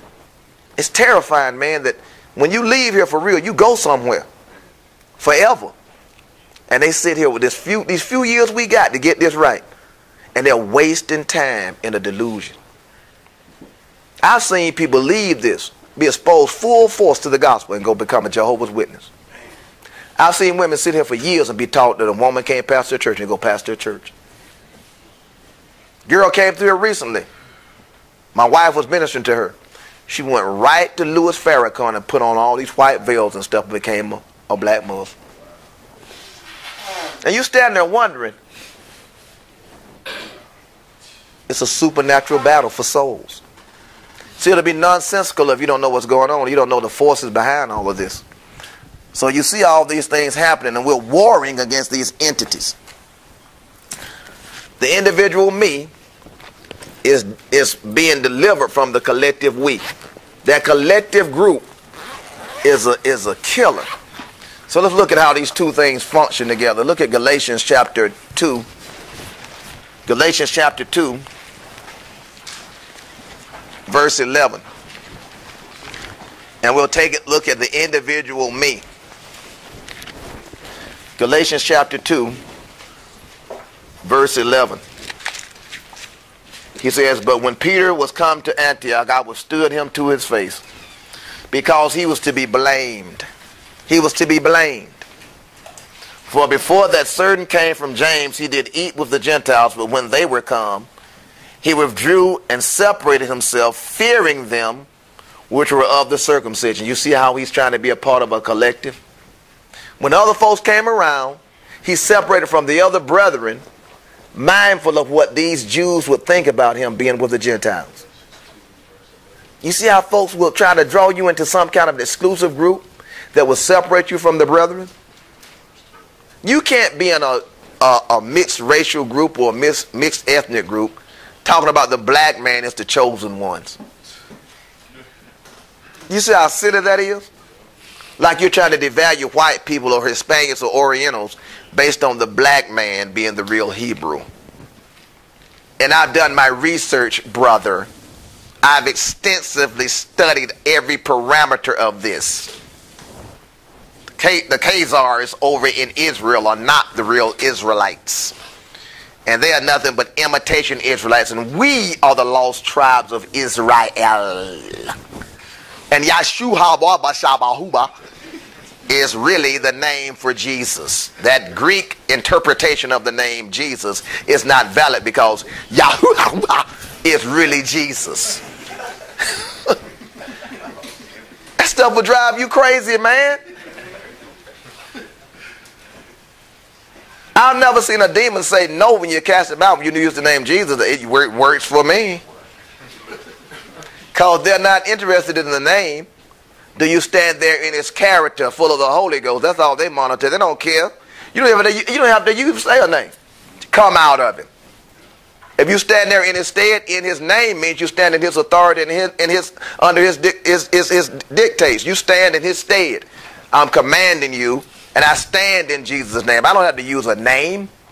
And a person will begin to worship all the universal names of God. No, he's called Yahweh. No, his real name is YHVH. You can't even pronounce his name, it's so holy. So you, you're in a delusion even saying a name. You understand me, brother? Religion and demonic religious spirits will drive you insane.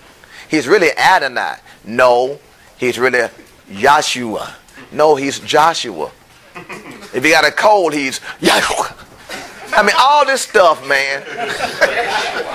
all this stuff will drive you crazy. You're going to go crazy. Because you don't even understand what in the name means. It means you're standing there in his stead. I'm standing in his name. They make a religion out of how you baptize somebody. Did you baptize them in the name of Jesus or in the name of the Father, Son, and Holy Ghost? Now, if you didn't say the name of Jesus, you, you were baptized wrong, brother. You must be rebaptized. Your mind is very delicate. Your brain is delicate. Everything is delicate. If you make things complicated, people like it. You know why? Because it will make me exclusive and I'll be a part of a collective. I got a group I'm a member of that gives me identity. That's why people join the Masons, Eastern Stars, fraternities, sororities, and every other group, Skull and Bones, everything that people join up with. The G Unit, Cash Money Crew. I'm one of Nicki Minaj's Barbies. All this stuff is about identity that they don't have because they don't have a relationship with Jesus Christ. Jesus Christ gives an identity. He makes you accepted inside of him before God you don't need membership in anything else. You don't need to join a church the way we've been taught to do it. I was born into the church. I don't have to join what I'm born into. You don't have to, you don't have to join your family. Why? You were born in your family. Two days after you were born, your daddy didn't come with a contract. Now, Ronnie, sign on the dotted line here. Because to be a member of our family, you must first agree to these 10 things. Now, sign it, Ronnie, and you sitting there, goo goo gaga, two, two days out of the womb. You don't have to join what you're born into. You can go anywhere where the universal church exists and you can fellowship. Just walking in, hey, what's going on, y'all? Hey, praise the Lord. I'm glad to see you. You up in Detroit or you out in Ohio or Philadelphia. Hallelujah. Thank you, Jesus. Let's crank up the praise and worship. Let's get this thing rolling. Everybody, who is he? From whence have you come? What, what are you? What, uh, what affiliation are you? What? This stuff would drive you crazy. And the man Peter, you see how Peter was always, he was still messed up way back in Galatians. After all, he, was, he walked the Lord messed up all those years, denied him three times. He back here in Galatians, still crazy. See, the Bible don't pull no punches about people's lives. He show, he show you the whole thing now. He showed you the good parts and the crazy parts. So he said he was, he was afraid of them. So he separated off with them. And the other Jews dissembled likewise with him. What were they a part of? The collective. I'm follow, I'm not following the Lord or the Holy Ghost. I'm following Peter. So when he goes off, I go off. You have cliques in church like this all the time. Especially a Jezebel witch will have her little clique in church. And when she don't like it, they, they, they get the accused from the Jezebel spirit. Oh, it, it, it stopped clapping. Ann has stopped clapping. Ann ain't clapping now. Ann look got a scowl on her face. Everybody scowl now. Every one, two, three, scowl. Because Ann is scowling. She can control a, a, a little clique in a church and have her own following. And when she leaves, that 30 member clique will leave. And this is, a, this is not of God. We've had come, people come to Omega Ministries and they made the mistake of bringing somebody with them, some kind of a mentor, a mother in the Lord, or whatever. And you know she ain't gonna like this a lot of them because it ain't gonna accommodate them. So that young girl see that mother in the Lord don't like what I just said, or what Tom just said, or what Rashid just said, or whoever's talking, and they'll give the signal like.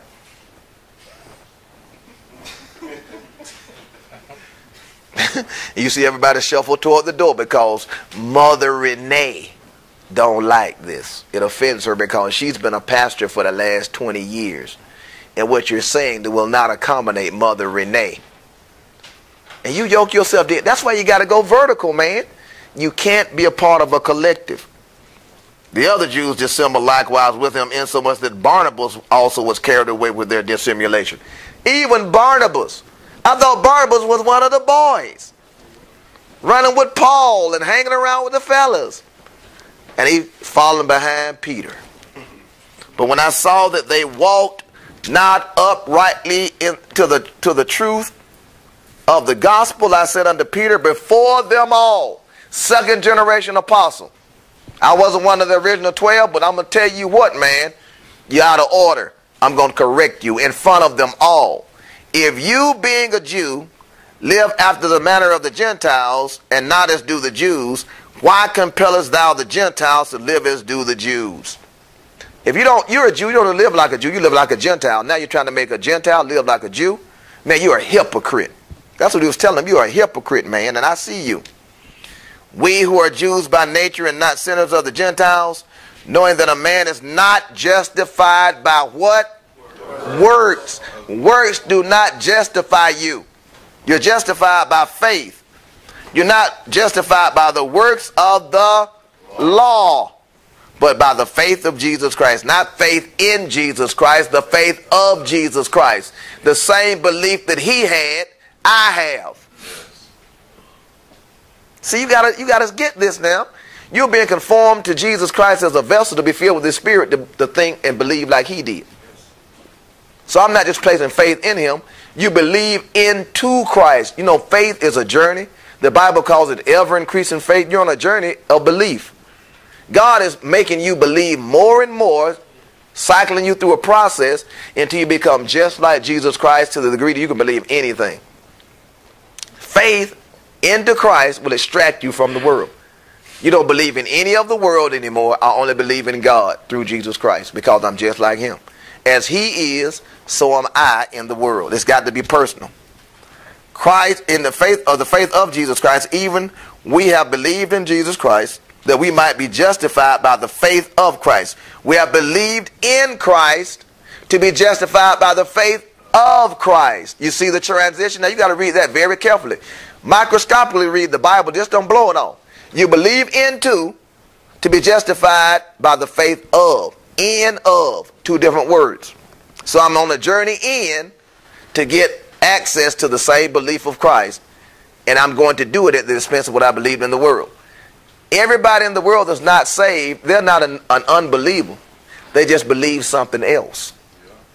You got to know that when you're talking to people, when they when they throw the gospel back on you don't want to hear you, it's not they don't believe, they believe something else. So you confront their belief system because they're worshiping something else, even if it's just worshiping themselves. so when confronted by the gospel, what I believe already has been now offended by you bringing the gospel to me. And my present belief system is coming against you because I'm offended because my God that governs my present belief system doesn't like Jesus Christ. It's all personal. It's about Jesus. he says that we might be justified by the faith of Christ and not by the works of the law. For by the works of the law shall no flesh be justified. Anything you do appended to the law will not justify you. You got to know that. The law is not made for a righteous man. So the law cannot justify you. Thank you. So you got you try to do all this stuff and conform to what I call the collective and append yourself to their dictates, no matter what they are. See, Derek Prince teaches this and it's right. when you see the word, the phrase, the law in the Bible, most people think in, think in terms of the law of Moses, the Ten Commandments. That's not the Bible language. It really says law without the the on it. Nobody can be justified by law. Rules won't justify you, no matter if you make them up yourself. Well, one thing I know, I don't smoke, chew, and affiliate with those that do. I don't smoke cigarettes, I don't chew tobacco, and don't affiliate with people who do it. So that makes me righteous. I don't fornicate. I don't lie. I don't steal. I don't, I don't, I don't, I don't, I don't, I don't, I don't. I do, I do, I do, I do, I do. Ain't That, that don't matter. You know you got some folk that are not saved, that do good things, that feed the poor, help people. If you meet them, they're nice people, but they're not born again. You know, you can be a nice person everybody likes, But you liking other people and helping other people won't save you. See, that's what people are saying. I don't hurt anybody. I'm a family man. I don't commit adultery. I don't, they go down that list of what they don't do. But have you been born again? Well, I don't think all that's necessary because, see, I'm living a good life. I'm not offending anyone. God should accept me on my own, my own evaluation of what I should be like. But you have you received Jesus as your personal Savior? Brother, that's not necessary. I just live a good, decent life. And God is going to reward me according to how I've lived. God is going to send you to hell because you haven't received Jesus as a Savior. You got to know that. There is no other name given amongst men whereby ye must be saved. Period. Watch Oprah. Watch, everybody will go into just, man, they'll go into fits. They'll talk. She'll go down to MegaFest and fellowship with TD Jakes because he won't offend her. They'll absorb into any environment as a new age mind like Oprah has, talking about Jesus Christ as an ascended master and an avatar that's a good teacher. Then they'll incorporate Muhammad as a good teacher. Buddha is a valid teacher. Oprah's mind is a universalist. She believes there are varied ways to get to God based on the culture and the environment and the ethnic group you were born in. But you coming in with your narrow-minded, bigoted self, talking about there's no other name given amongst men whereby ye must be saved. Only Jesus alone. You got the Old Testament representation of Elijah standing on one side of him, the New Testament representation of Elijah, the Old Testament representation of Moses. And Peter jumps up, uh, we should build three tabernacles to each one of these individuals. It's a, that's a good idea, isn't it, Peter? Moses and Elijah vanish. God said, This is my beloved son. Hear ye him.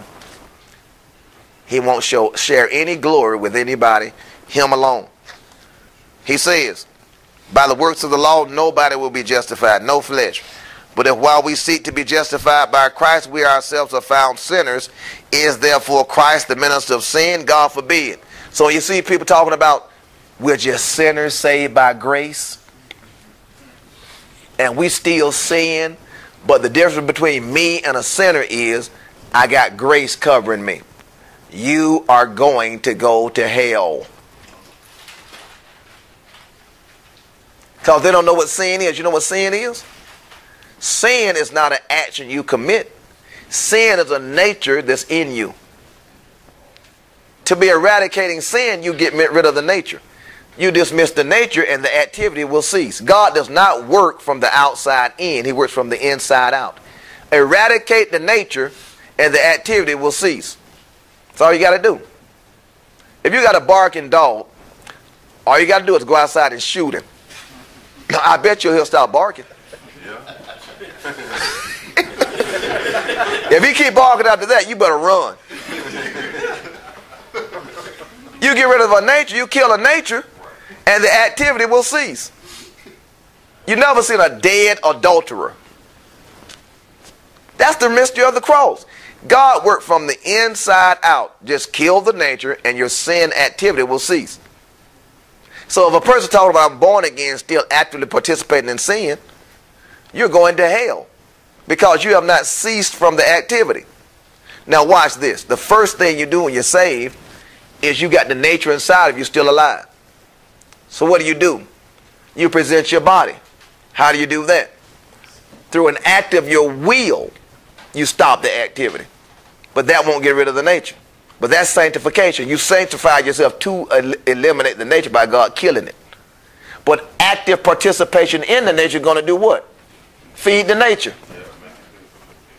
You won't let it die. You're still feeding what God is trying to eliminate. But through an act of my individual will, I stop what I'm doing. And I present, here's a body for you to cleanse. And what will happen is, down the road, things will be eliminated. You don't even know what, what happened to it. John, uh, uh, Tom will tell you he was a smoker. He don't even know how he stopped smoking. He's like, I was just around and the desire for the cigarettes is gone. Now the you know the devil, he's gonna try to double back on you and try. Just take one puff, just to you know, just won't hurt you. Just what's a puff on? What's a puff on a cigarette, man? Just get you one draw. You know, just it ain't gonna hurt nobody.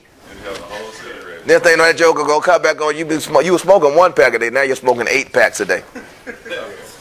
Because you're gonna come back worse if you give cre- credence to him. That's why you got to cast the devil down and don't let him back in. Because you're sanctifying yourself. You, that's an act of your will sanctification. Notice how God gives commands to you. Say, stop.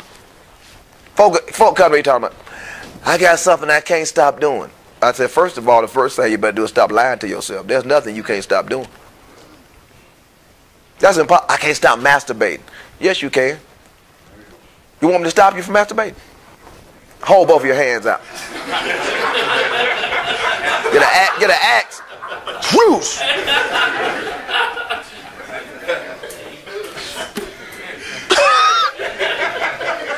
If your hand offends you, cut it off. I mean, what? I mean, you, you can stop. If you can't stop it, I can stop it for you. I mean, if you can be stopped from doing what you're doing with an act of your will. Nobody can override your will, not God or the devil. You got to yield your will to God for God to operate. The devil can't make you do anything. You open doors and he comes in. And he gets a stronghold. Then he's a compelling internal force to make you do it. And man, you just see that thing beating you down like somebody beating a drum. I am not going to watch pornography again. Your wife goes on a three day trip, and the first thing that I'm going to say, the computer is downstairs. Whores are on their spread eagle. Vaginas are beckoning you. Go to the computer, my brother. And you down there. Then you get through condemned, feeling bad, but you fed the beast. The big dog was fed. That's why you got a character is what you do by yourself. And an act of your will can determine the outcome. You put a body on the altar and keep it there, God will sanctify that body and cleanse, cleanse it. He'll purge you. You got to go through the process. If you don't put him, give him a body, he got nothing to work with. Romans 12, 1 is all about it. Give him a body, sacrificially, he'll transform your mind. Appetites are housed in your mind. Everything you do is in your mind. The ability to play a piano is not in the pianist's hands. It's in the mind. You got hands, can you play one?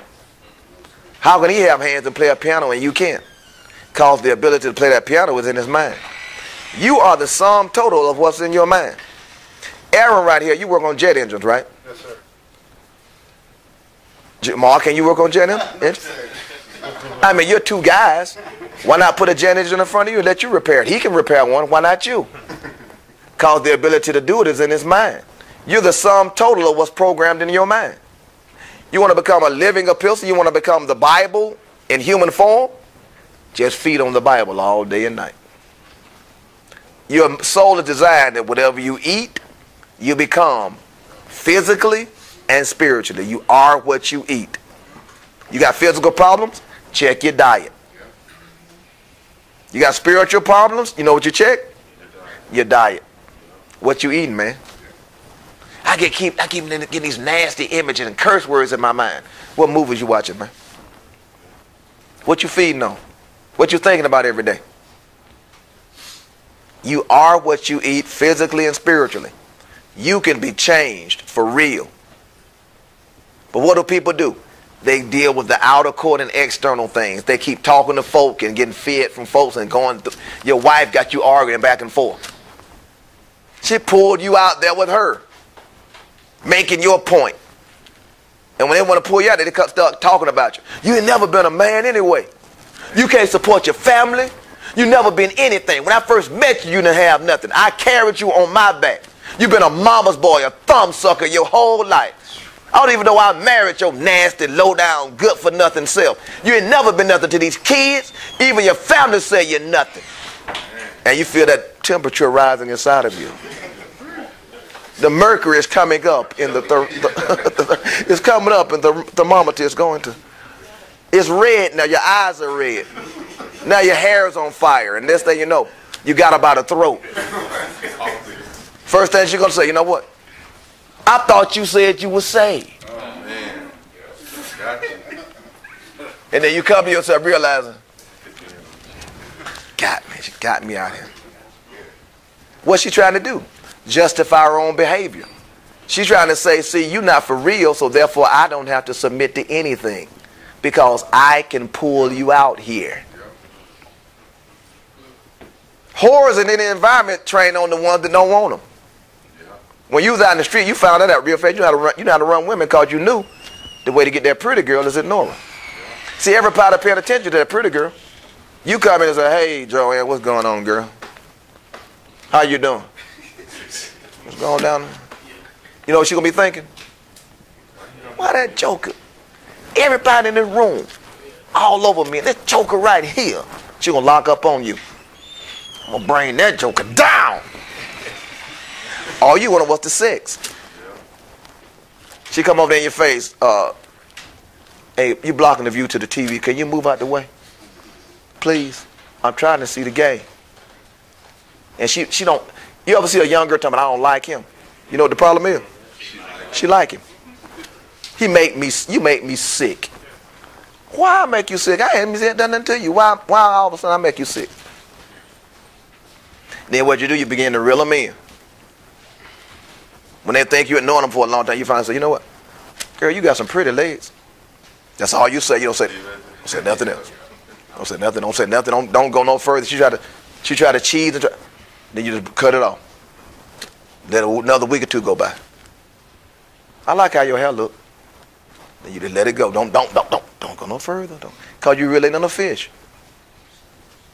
Cause you feeling like now she got, she flashing negative and positive. Dog, he sure like he interested in me, but he won't. This guy's an enigma. See, women like to solve a puzzle. You're an enigma. What are you? What are you? Are you man or beast? What are you? I don't understand this joker. This joker is an enigma. I want to solve this guy. That's how the, that's how pimps do prostitutes. You go negative, positive, negative, positive, negative, positive, till you reel them in. Then you got them inside. You have sex with them. Now you inside of them. You control them from the inside now, and you got them. You captivated them. Whores do the same thing to Johns and victims. They know how to reel in that victim. The Bible talks about it, Proverbs 3 through 7. It'll give you the whole expose on it, how it works. The players think they got it figured out, but you cannot play a woman in the world. You can't do it. Because in the end, she's going to win. You know why? She got no authority to lose. You're the only one lose authority. She can't lose nothing.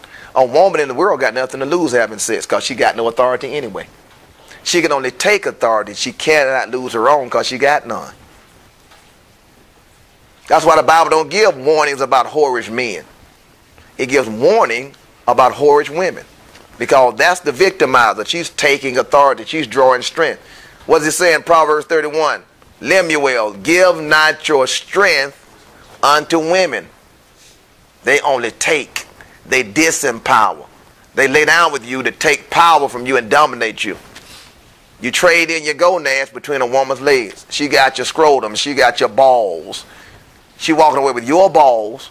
And you actually laid down with a woman that had a penis and you were sodomizing, being sodomized by a woman internally with a penis and you had a vagina laying there thinking you got a penis, but really you got a vagina. Because she's leaving you castrated with no balls, and she's a collector of scrotum. She got scrotums all embedded in her body. She got 20 or 30 pairs in her body where she's sodomized all these guys, and now you got a dominant male woman on the inside you having sex with talking about she sure is fine. Yeah, but she's a guy, and she's a bone collector. In this case, she's a ball collector. You gave your strength, your testosterone housed in your scrotum. That's your strength. Testosterone is your strength. You gave it to a woman, and she walked away with it. And then you get up, effeminate, angry, mad, bitter, walking around trying to act like you all that and you know sensitive can't nobody say anything to you you take everything the wrong way look how sensitive you were in the world might be still getting over it somebody get you mad real fast calling you a name cause you're sissy sensitive cause your balls are gone if you're a man you have nothing to prove what difference does it make how somebody tries to discern you and they, they, and they give you some kind of validity based on their evaluation of you. What difference would an evaluation of another person make to you? I don't think you're too smart. Boy. I mean, what did that do to you? Nothing. I don't like how you walk. Now you're trying to walk with your feet straight, you know, in a straight line. Is this better? This better? You try to walk bow-legged. You want my legs bowed? Let me try to walk, you know, on the side of my feet. I'll walk bow-legged. What difference would that make to you? How what somebody evaluated you as or tried to give you some kind of a, a, a critique on who and what you are. If you're whole inside, outward validations and outward evaluations of yourself don't matter. That's not pride. I'm just all right. I mean, I, don't, I and when you're all right with you, everybody else is all right with you. Everybody all right with me. I don't, I don't, I'm not bothered by anybody. Everybody fine. You deal with sinners. Sinners all right with me. I mean, I expect them to be sinners. You know how people walk around aghast at sinners? I can't believe what she has on. Do y'all see what she got on? Do you believe that? Well, um, when you were a whore, what did you wear? Why you want to bring up my past? See, if somebody looked down at you like that, you could never be saved. You're not aghast at sinners because sinners sin. They're doing what they're supposed to do. I talk to a lot of folk, man. Folk crazy, folk toe up, folk drunks, drug addicts, weirdos. You can't get caught up in all that outward evaluation. Just tell them the truth. Let the gospel work through you. Show some compassion. It'll work all by itself. And we preach hard messages to the saints. Because the saints are being conformed to Christ. If I'm around people that are not saved, the message changes. Because I know they can't ingest all of that. They, they can't ingest all this stuff. You try. Have y'all heard about the Nephilim? no, what? Why are you telling this person that, man? What you trying to be? What you trying to do? What you trying to do? You can't do that, man. You got to be aware of who you're talking to, when you're talking to them, and what they can ingest and digest. Because you're concerned about their life and you want to see them really get saved. You can't give a person more than they're able to bear. Jesus said, A lot of things I want to tell you, but a lot of things you can't bear right now. So I'm holding things back because you can't take it. That's why you know the Bible is a continuing revelation. Because he's exposing more things. Now, the Bible says in the end, what will happen? knowledge will increase. And it's happening. So you see now, he says, but if we will, will, while we seek to be justified by Christ, we ourselves are also found sinners. Is therefore Christ the minister of sin? God forbid. For if I build again the things which I destroyed, the things that I destroyed, the old life that I destroyed, I make myself a transgressor. So if you're participating in sin, you're rebuilding what you destroyed, and you're a transgressor again. So all this grace talk, yep. man. what's this Joseph Prince guy trying to tell you you don't have to repent? Yep. And grace covers everything and everybody on the whole planet. Yep. Repentance is an effrontery to God, turning away from sin. When grace has covered your sin, that guy came right from the bowels of hell with that message. Man, for I through the law am dead to the law. So you see how sinners are bound to the law? I through the law am dead to the law, that I might live unto God. I am crucified. I'm dead with Christ. Nevertheless, I live, yet not I, but Christ lives in me. And the life which I now live in the flesh, I live by the faith of, the faith of, the faith of, not the faith in, the faith of the Son of God who loved me and gave himself for me. I do not do what? Frustrate the grace of God. For if righteousness come by the law, then Christ is dead in vain. You see, our law will frustrate the grace. Because God has given unmerited favor to those that believe. But if you try to make it work through performance, then you're saying, look, I don't need God's unmerited favor. I can earn it. Whenever your mind switches switches over to performance and, er, and earned based salvation, you're frustrating grace. This is a state of being. God says, I am that I am. When you conform to Him, you are what you are. There's no performance. I'm not trying to earn anything. I'm in the I'm in the family. I go to the refrigerator and get what I want out of the refrigerator, and I'm accepted in the beloved. Whatever's in the refrigerator, I feel no nothing about it because whatever my father has is transferred to me. You don't yell at your kid for going to get a, a, a bottle of water out of the refrigerator. They figure you went to the store and bought it. It's for the family. But the guy next door walking in your house and just getting stuff out of the refrigerator, hey man, hey, hey, what you doing, man? What are you doing? I wanted a soda. Well, where do you live? About three blocks over. But I was walking up this street and I got tired. I saw your front door open. And I came in and got myself a soda. What of it? What of it, fella? What of it? You thinking, man, you crazy? That was what it's like when, when Daryl and, and, and Anthony got robbed. You see, you see how you feel like violated because somebody came in your house and took your stuff. Because you're a foreign entity inside of my house. That's the way it is when you're not a member of the household of faith trying to matriculate through the body of Christ as if you uh, you belong.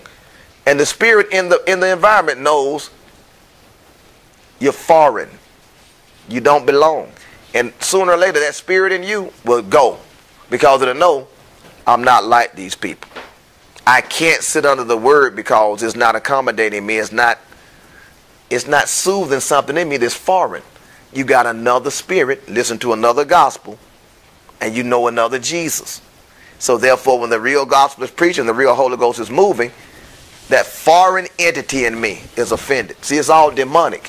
When you got a foreign spirit in you and you sit around the real gospel, you can feel the irritation inside of you. Something is bothering me, irritating me. That's how you can pick out if you need deliverance or not. When the gospel is preached, you can sit here right now looking like you look, but something inside of you is like, ah, man, it's just rubbing you the wrong way. That's a demon. It don't like being around the Word of God and the Spirit of God. It, it, it gets irritated by Him. And my job and your job is to make people very irritated. You stir the pot till you rise those joker to the surface, to the sur- surface, and you want to stir them on out. And see what you do is when you feel irritated, you keep coming back. I'm gonna get more of these MP3s. I'm just gonna pound them into my. I'm gonna go. I'm gonna drive to work with this stuff, pound it into my ears. They just sit there taking it.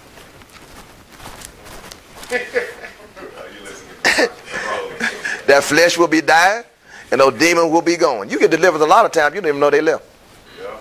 They just go because, you know what? You make me sick with this.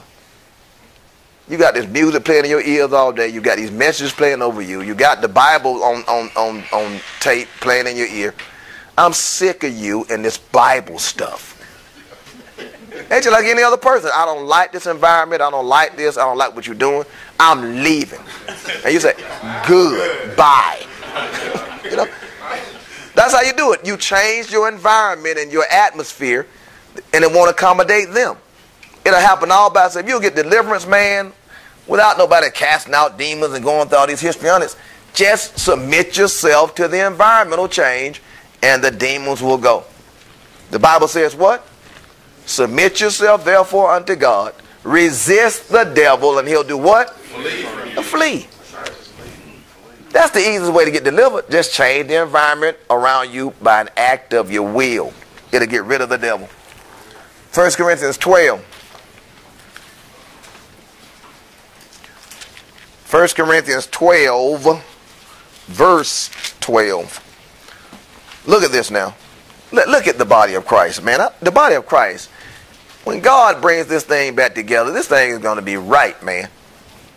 For as the body is one and has many members, and all the members of that one body being many are one body, so also is Christ. For by one Spirit are we all baptized into one body, whether we we be Jews or Gentiles, black or white, bond, Scythian or free, Oriental or Hispanic.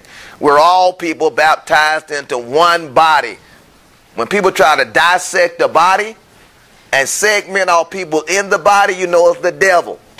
Don't make anybody make you believe God is exclusive in any way as far as within the confines of the body. We're excluded from the world, but in the body there is no exclusivity. We're all one. We're not exclusive. God is an all-encompassing God that fills everybody with the same Holy Ghost. He says, whether we be Jews or Gentiles, whether we be bond or free, and have been ma all made to drink into one spirit. For the body is not one member, but many. If the foot shall say, Because I am not the hand, I am not of the body, it is therefore not of the body. And if the ear shall say, Because I am not the eye, I am not of the body, is it therefore not of the body? If the whole body were an eye, where were the hearing? If the whole were hearing, where were the smelling? That's why you don't want to be made into a clone. We're members of a body and we have varying degrees of operations. You got to perfect your craft and your calling. But now hath God set the members, every one of them, in the body as he as it has pleased him. And if they were all one member, where were the body? But now are they many members, yet but one body. And the eye cannot say unto the hand, I have no need of thee, nor again the head to the feet, I have no need of you. Nay, much more those members of the body which seem to be more feeble are necessary. Never disallow for the person you see doing something you think is really lowly the little lady that tends to the babies in the nursery is doing her calling.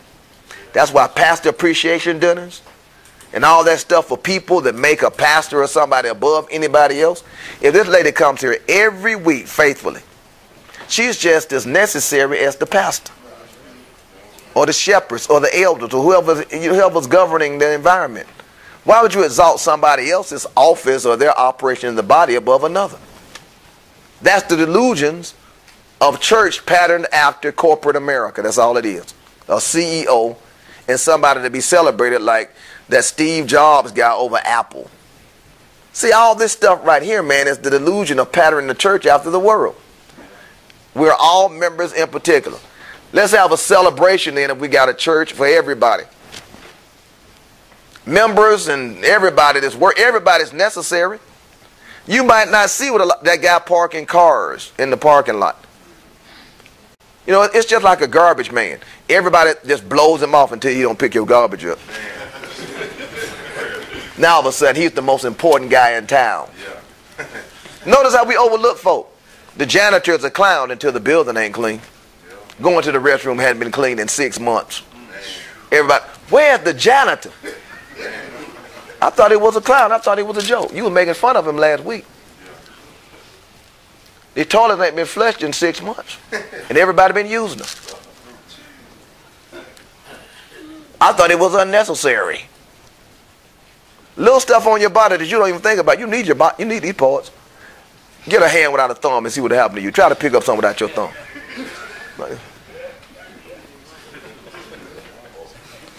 Hey man, grab this.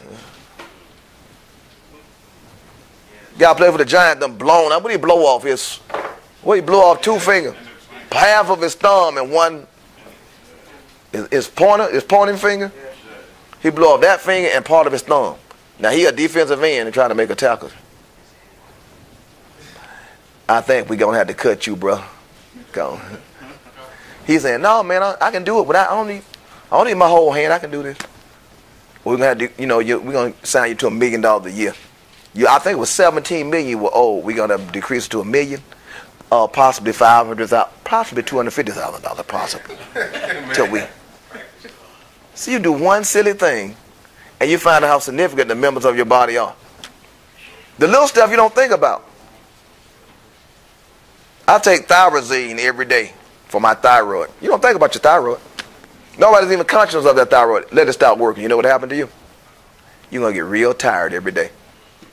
Because your thyroid sends a signal to your brain telling your brain to release a hormone that gives you energy. And you won't even know what's happening to you, man. If it stopped working, you know what it also do? It increase your cholesterol. It also um, it'll also make you retain weight. You ever somebody say, "I got a thyroid problem"? Either it could be hyper or hypo. You know, if it's, it's too active, it'll do one thing to you. It's underactive, it'll do another. See, that's what happened. And when you're not even conscious, you got a thyroid. You don't, a thyroid man? Who's thinking about that?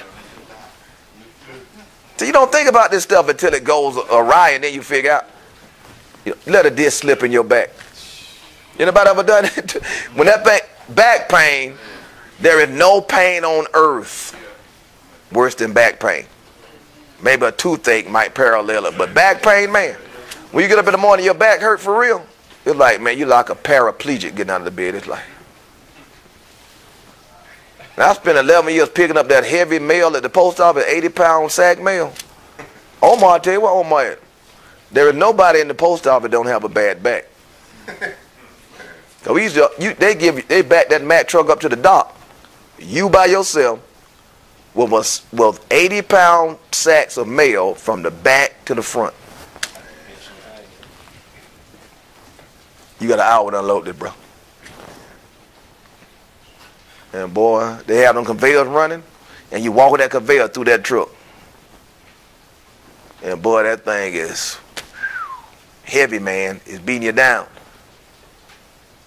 Unload that one. The dock clears. You know what's going to be backing up next? Another truck. He's thinking like, I don't have to go to hell. I'm in hell. This is hell.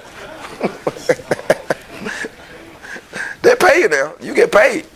But boy, you earn every one of those dollars. You might be running about $25 an hour. And back then, in those days, in the early 80s, overtime every day. I mean, $25 an hour, you know, another twelve fifty on overtime. You were running $37, $38 an hour. You know what guys did, right? They sleep for two hours in the locker room. Get right back on the clock. Them guys were pulling down six figures in the post office. Heavy. They lived at the post office. Cause the mind, the mind was, look, okay, I do this for five or six years. I quit. you know what I'm saying? You know what I'm saying? I'm gonna work like a dog for like six or eight years. Uh, farewell. But but it'll break you down though. A lot of these guys they get broken down. By the time they retire, they get broken down bodies and they die. You know, Social Security is designed for you to die before you get it. you ever figure that out? You work your whole life you're 65, you get Social Security, you'll be dead in five years. They know that. They designed to take your money along the trail, and when you die, because if, it was, if it was lawful, you get your mamas and your daddies. They put into it, right? It didn't evaporate. So since my mother and father are dead, it's part of my inheritance to get the Social Security money, correct? If you don't get your so-and-so out of here with your crazy self, you better. Well, what happened to their money? I want to see their money. What happened to it? Are you crazy? We took it. This is a, a land of larceny. They taking your stuff. You just don't know it. Look at this. We're all one body. We, everything is essential. But now are they, they many members, and yet one body. And the eye cannot say unto the hand, I have no need of thee, nor again the head to the feet, I have no need of you. Nay, much more those members of the body which seem to be more feeble are necessary. And those members of the body which we think to be less honorable, upon these we bestow more abundant honor, and our uncomely parts have more abundant comeliness. For our comely parts have no need, but God hath tempered the body together, having given more abundant honor to that which is which lacked. That there should be no what? No schism. One thing God hates is somebody that sows discord and causes schisms. There should be no schism in the body, no dissecting of the body. Denominations are an abomination. God hates denominations because he didn't design it that way that puts schisms all in the body. So you got to be extracted from denominations and form up in the church where there are no schisms. What are you? I'm, I'm a Christian. I'm saved. What? I mean, what denomination are you? I'm born again. Uh, I mean, I'm trying to get a reading on you, man. What are you exactly? Go through the line to get your dog tags in the military. What, did they ask you? Uh, what denomination? What religion are you? Uh, I am. Just put I am on there. What? Are you crazy? So they want you to say like Christian. You got you got to tell them something to give them something to go with. I'm Baptist. I'm Methodist. I'm Presbyterian. I'm Episcopalian. I'm AME. I'm Jehovah's Witness. I'm Buddhist. I'm Hindu. You see how you see how the devil has done this? He's dissected the human race and gave, given them identity where in the world to separate them from Christ. Your identity is found in Christ. You join to Him and you become what He is, and everybody just incorporated in one body. And we can get, see, men have been dissected so badly because the devil has given us a pseudo competition not to fight Him. You know, He's done that. He created everything for men to fight other men so as not to fight Him. That's what sports teams all about. That's why they put on jerseys on Sunday and go to the stadium and we beat them. You play. You play. You play them. We won. You, what, what position did you play? We how did we win and you didn't even play? You see how crazy it is? You trying to identify with somebody so you can be involved in some kind of a fight. Man, my man Mayweather, man. That see Mayweather. I told y'all about Mayweather. I told you that's my boy, and you know when he went in there, I knew, man. I told y'all about that fifth round. Me and Mayweather. You were with Mayweather, man. you was in the ring with Mayweather, man. My boy LeBron, see LeBron, man. I'm telling you about LeBron, man. This year, LeBron, man. I'm telling you, you watch LeBron this year, man. And see, I believe Kobe got one more year, good year in him, man. One more good year, man. I'm telling you, man. M-A-I-N, man. Look, man, what are you? What? Do you play basketball, man? Are you on a team? Do you have a jersey, man? I got Kobe's jersey, man. What's the devil doing? He's giving us a pseudo water fight so as not to fight him. On the basketball court, everybody's playing a nice, comfortable game until the fine girl come up there. All of a sudden, Joker just tearing down the rim. Why you bend the rim up, man? I know you can dunk, but why you bend the rim up? Now on the playground, we don't have a rim, man, just because Susie Q came up here. Now you went and that started acting a fool.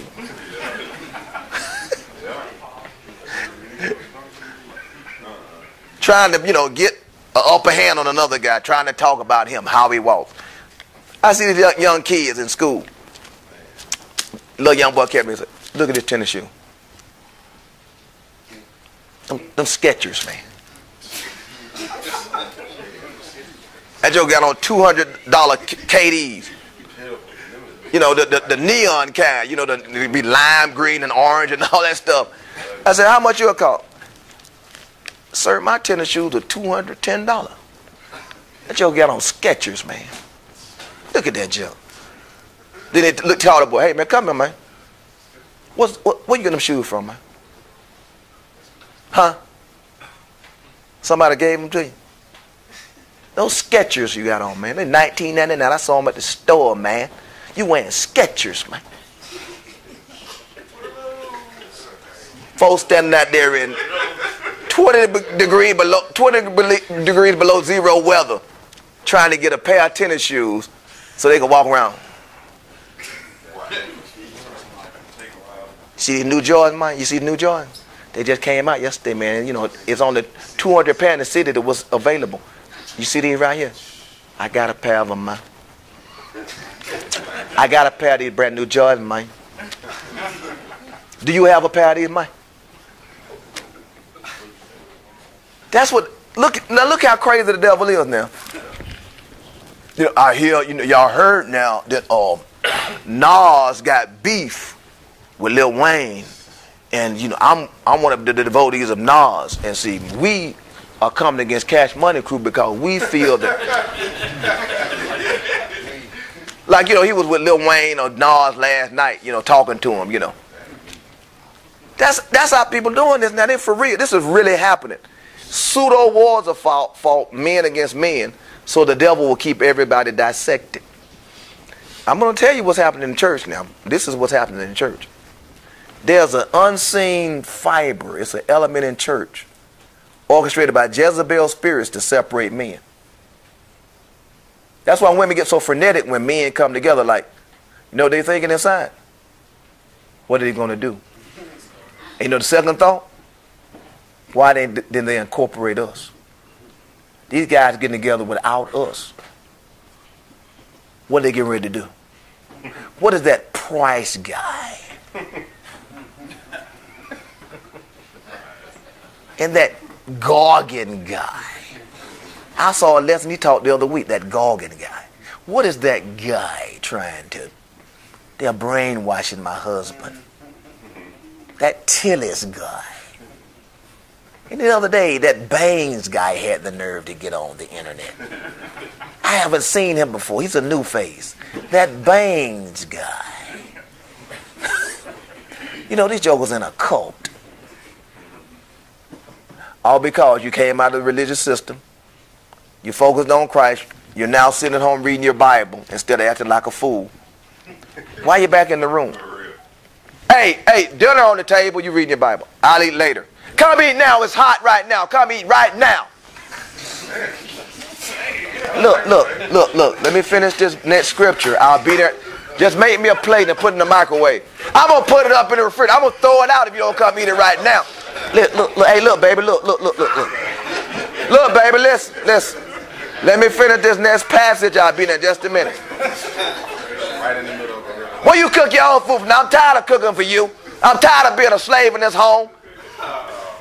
You're in there reading that Bible all the time. You don't pay no attention to me no more. All you do is read that Bible.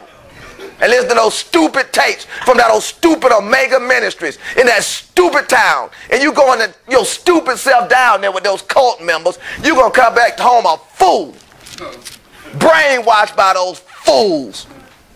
And you're going to lose me. Because I ain't staying here with no fool going to lead me into hell and destruction. My mama has been a Baptist all her life. And my mama told me that you was crazy. Now come and eat this food right now, fool. Hey, li listen, babe, listen. Call your mama. I'm going your stuff will be packed. and you and your mama. y'all just y'all just go ahead on. But see, what that is is it's the fear of brotherhood. They've never been a, they've never been exposed to brotherhood. They're exposed to sissies hang together in a pack, frat members, frat brothers. They, frat brothers are just a pack of sissies. They're sissies. They'll live with the same girl and have sex with the same girl, all of them. You know, they just sodomize each other because the girl they laid up with imparted a part of each one of them to the guy that they laid down with the girl. They got a common denominator. You put part of that guy in you. The Bible talks about you become one with the whore. And the whore is one with 20 guys. So guess what you just join yourself to? 19 other dudes. And the common denominator is the whore. Go back and tell the frat bro, hey man, that girl over there in the Delta, that fine girl, man, that girl something. I mean, y'all hit that girl, man. Y'all hit it, man. Then you got jokers have sex with one girl together. All you doing is sodomizing each other with the girl being the common denominator. You got your penis in her mouth and the guy got her from behind and y'all join and looking at each other. Now you got to be seeing the other guy's penis. You two sisters are using the girls as a conduit to transfer yourself to each other. And now you walk out of there, girl, with your hand, your wrist bent, with with pumps on. You got you took a pair of the girl's pumps in her purse when you left. Now come on, Frank, let's go. You sissified yourself in a perverted delusion with a whore. See, women have been trained by Satan to separate brethren, to keep you separated off in an island somewhere, totally submitted and committed to them. It's good to be married. It's good to have a wife. It's good to have a family. But you got to understand war. Don't nobody go to World War II with their wife. She keeps the home front while the men go out to war. Check the Bible out. You don't see nobody going out to war bringing their wife. War is a male endeavor. It is. Now they're trying to feminize the war front. They're trying to feminize the military. Can't you see it happening? They're trying to train women in the military to become a member of the special forces. That's crazy, man. A woman that's a Navy SEAL. What's the boss's name? Run, Ronda Rousey? Pretty girl. She'll beat you. That she'll beat your butt. Ronda Rousey will beat your butt. Muhammad Ali's daughter will beat your behind. she will whip your butt. I'm talking about for real. You see how was getting? No, they're masculinizing these women, pretty women, that will beat you down. Uh, uh Muhammad, uh, uh, what's the name? Uh, Leia, Laila Ali. Pretty girl. She will beat your behind. She'll beat your behind for you, though. See, that's what I'm saying. It's getting crazy. But it's designed to keep men separated off. And it feminized men give credence to women's opinion above a war setting. What they think, they checking to see what they think about it. Well, I didn't come because my wife. I said, "Oh man, hey, I see what you're saying. That's right. Yeah, I don't blame you, man. That's right. You should listen to her, man. You exclude that guy because he can't fight. He's not going to war. He listening to his wife and not listening to who? The Lord. Jesus. Not me. The Lord. The Lord. Paul said, Follow me as I follow the Lord. See, it's, it's a war footing. You got to be able to sit under the disciplines of war. People say, well, why do y'all take so much time? Why do you go through this long, drawn, drawn out discourse? Because we're reprogramming a mind. It takes time to reprogram a mind. You got to sit here in an in uncomfortable place to be reprogrammed. Have you ever been to basic training? Everything is uncomfortable in basic training. 4 4.30, 5 o'clock, that blaring through the loudspeakers, that horn, dun. Then that bone-headed sergeant come around the corner. Get up! you thinking, man, I'm gonna, I'm gonna kill that joke. I'm gonna kill him. When I get a chance, I'm gonna kill him. Kill that joke. We actually had one of those loudspeakers. Blasted. Hey, I was about this far. Shut the window and touch it. Ah, you had a bad. Y'all have changed bunks, man. I couldn't take that anymore. That's crazy. I know it. Cause when that thing goes off, man, you can feel you can feel the jar inside of you, like, oh, like it scares you. You know what I'm saying? But see, it's all designed to make your life uncomfortable. You came in there a prissy little sissy with an afro. A barber got you in that. That joker wasn't even thinking about what he was doing. Next. Joker, look at the TV cutting your hair. Next. What they create? Uniformity. See, we're getting in with uniformity at the expense of the outside. You'll be diverse on the outside, but uniform on the inside. We'll all be conformed to the image of Christ. Then he'll dole out identities to, for you to perform your particular task in uniformity with another guy. That's how the military works. It makes you a uniform fighting force. That you're mechanized and everybody got their job. You sit out of a tank, everybody will do the same job in a tank. But you better perfect what you're supposed to do. I was in a fighter squadron. Back then you had F4s, back seat and front seat fighters. Some of the F-15s had two seats, back seat and front seat. Front seat was the pilot, back seat was the WISO, the weapons systems officer. Now the back seat guy was was was responsible for ordnance, but the pilot would get you into the strike zone, but the backseat guy would deliver the weaponry. They had to be a, a machine operating. Target acquisition was the pilot, but target destruction was that WISO, that weapon systems officer. So what I'm saying is everything got to work in unison. It's got to be mech. It's got to be a machine. When you got the church operating really in full functionalities, you got that praise and worship team as a machine. The best choirs you'll see are a machine. Brooklyn Tabernacle Choir, that's a machine, man. They're a machine. When you see them operate, they come in in uniformity. Everybody got on the same thing. When they sing, they open their mouths at one time together. There is no distinction in sound. Everybody right on time. The orchestra is a machine. That's, that's how God operates. God is not an author of chaos and confusion. God has an organized organism governed by one mind, the mind of Christ, imparted to several different members to operate. And see, when you out of sync, you're gonna be when people marching in a, in a in a military formation, the out of sync guy's gonna be doing what? He's gonna be bopping. You're gonna see his head going up. Where everybody else's head is going down, his head will be going up. Sergeant say, Horkowitz. It's always a guy named something like that. It's a, the guy that's messed up always got a name like that. It, uh, Hargowski. It's always a name like that. It's, it's never somebody like Leroy or something like that. Like, the guy that's always out of place is that guy with that name. And he'll be the one that's get in step, you know. He have to do the, do have, what do have to do? A chain step, you know, skip step to get back in step. So God is trying to get that order.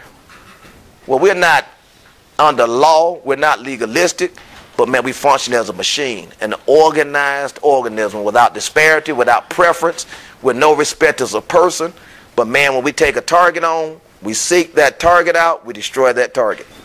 That's how you take a city for Christ. You go into that city, you send in people into a hotel for a week or two, and they bombard that city with prayer for a week. Then you bring in the evangelistic team. And you tell the devil, we're staking up, we're staking claim to this place. Hey, move out the way. Everybody step back. We're coming through here. We're, we're shutting this city down. We're putting a blanket over this, and we're sealing off this city. So the heavens are shut up to it from the from the devil's upper echelon angels. We're shutting this. We're, we're capping this off, sealing it off. We're taking over. Who do you people? Hey, look, man. Step back. You better step back. Because Ananias and Sapphira are dead doing what you're doing, man. Simon the sorcerer, Elymas the sorcerer, he's blind, man. You better step back. Don't don't do that, man. Don't touch that. Don't don't don't. Don't say that. What you're about to say, you better be quiet, man. You'll be dead by the night if you don't shut up. That's how you got to come in here. You got to come here with false projection where people are afraid of God. You need godly fear brought back into the church. I can guarantee you when Ananias and Sapphira dropped dead, everybody. Hey, hey, hey, hey, hey. I sold my property for $800. Here's $810. Sure, make sure, let's make sure. Here's a receipt from the sale, and there's a 10 extra dollars here. Just so you make sure. That's how they were from that point on. That's why God did that. When you look at miracles and supernatural power like that, that, that sorcerer struck blind, you, hey, hey, hey. He did it all through the Old Testament. Miriam, leper. Her hand was turned into leprosy.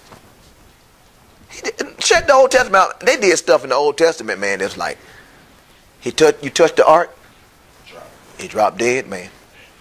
That's science to let you know what God will do when he brings this thing alive for real and the body of Christ is really on display as manifested sons. They're not going to fool around with the manifested sons.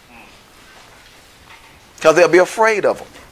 The world is really afraid of the church, but they, they don't have a church to be afraid of. Let that church come alive and rise up and see what will happen. They'll be terrified of it. There's no schism in the body, but that the members should have the same care one for another.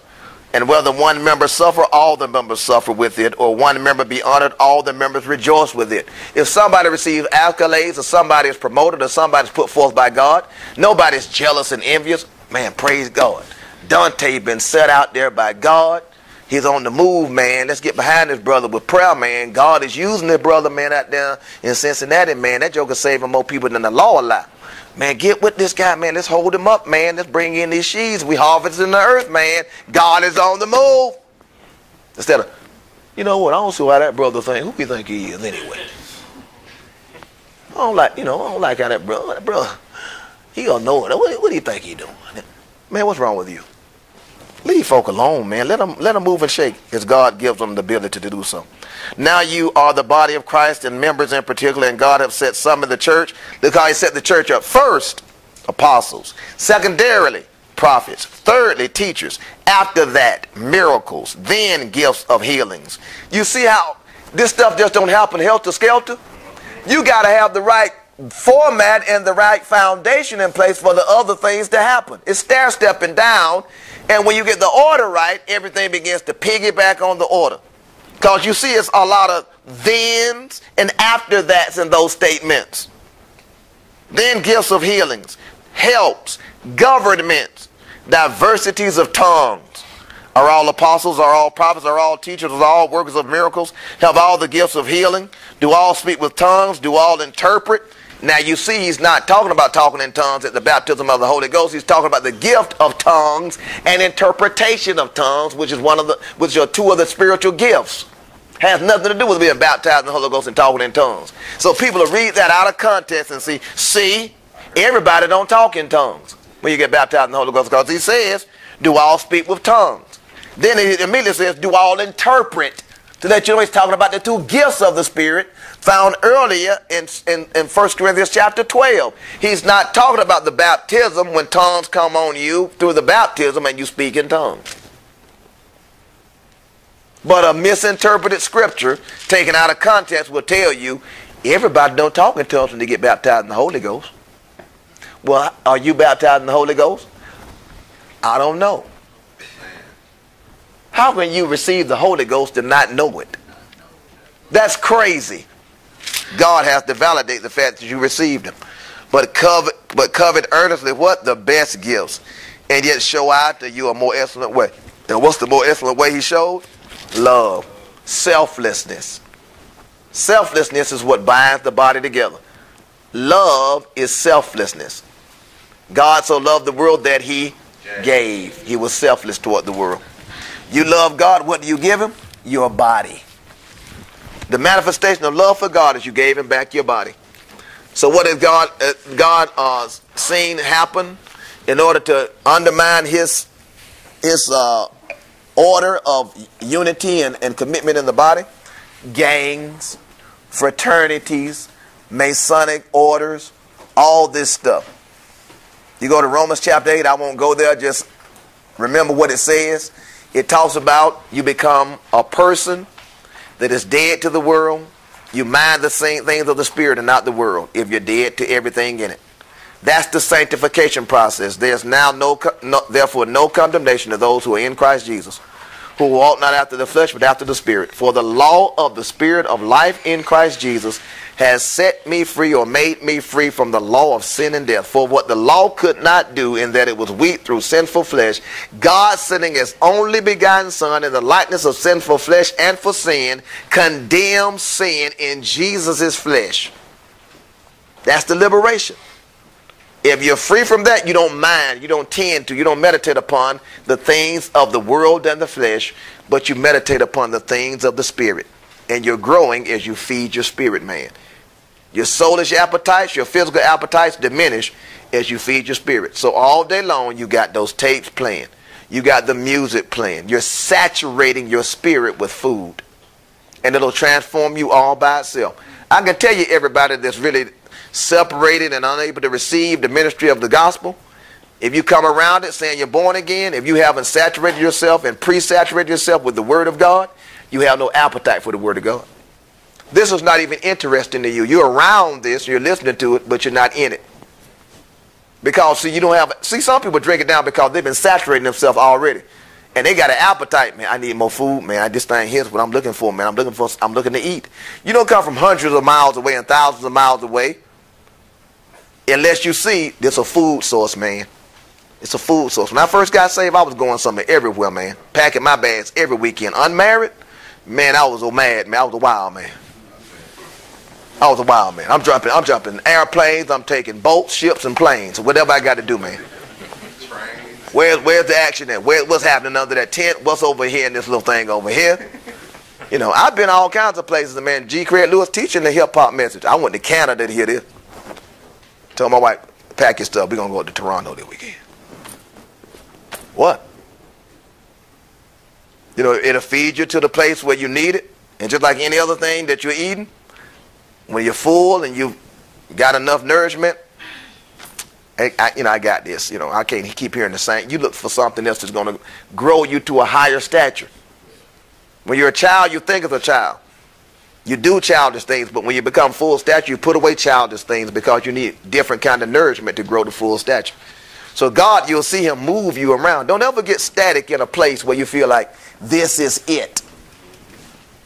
You got to let God move you around to grow you. He's going to use all of what he has to grow you.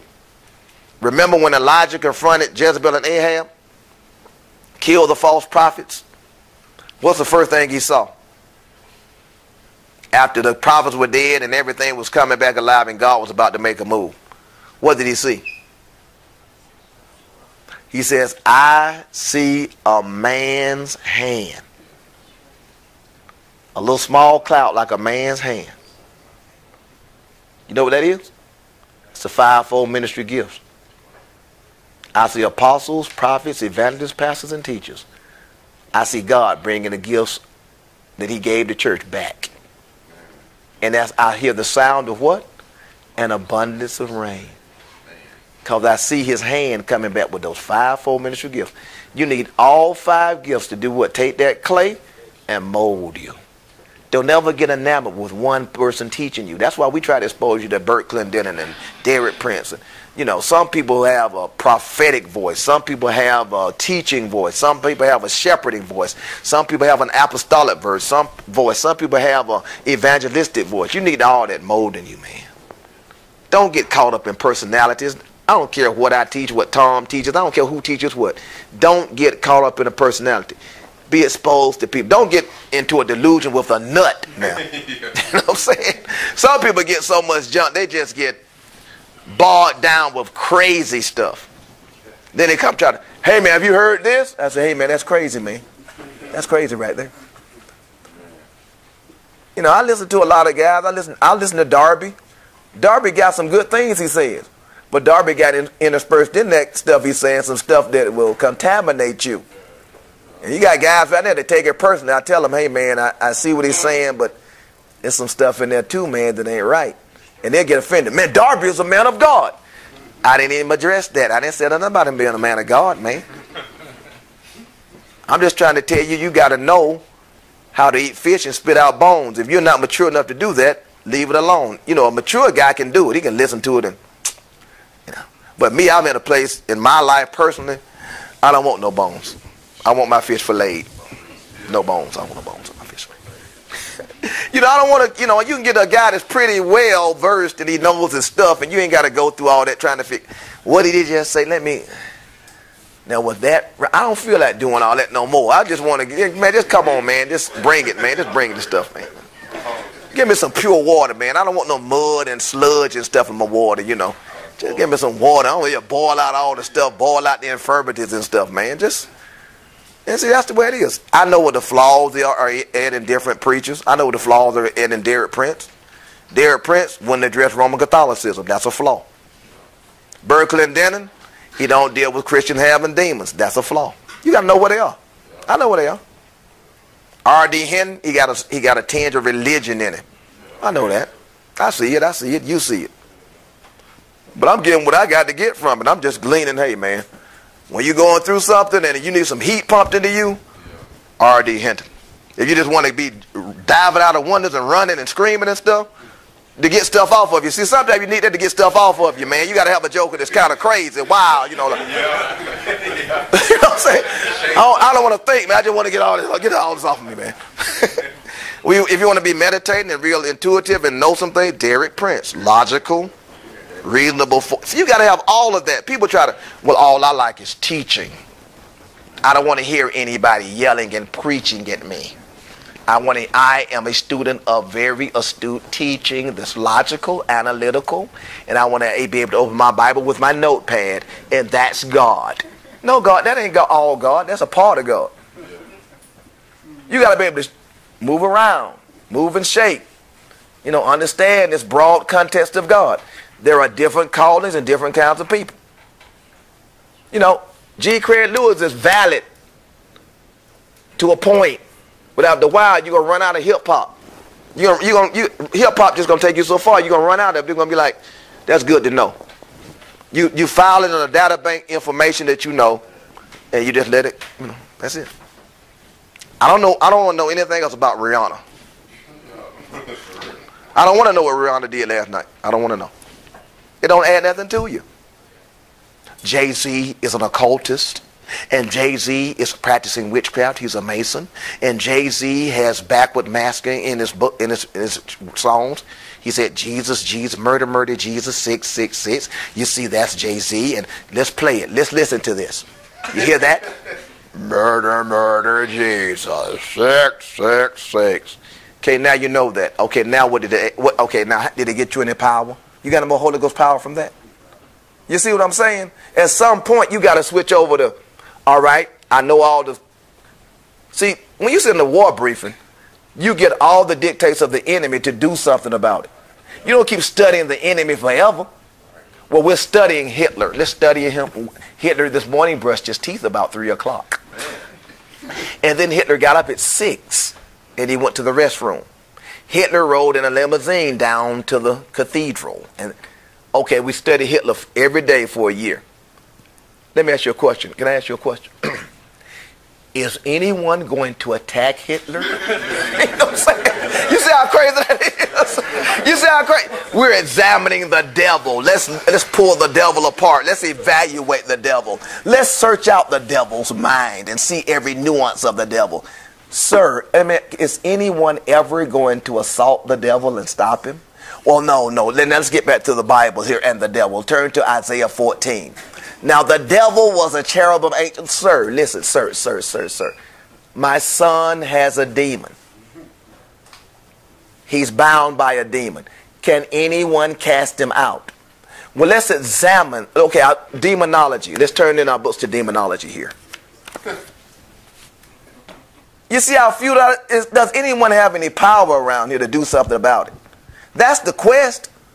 The devil actually does what? Baines brought it out the other day. It's a very good point. He's exposing himself to you so you can look at him all the time and talk about him. The devil is actually offering up vignettes of himself so you can examine him all day. You know what I heard? You know what I heard? What?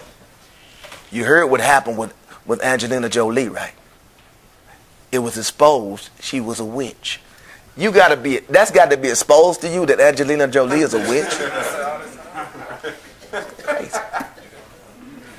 You know, I believe that, I, you know, it was determined on CNN the other day that the Pope is, you got to have an expose on the Pope.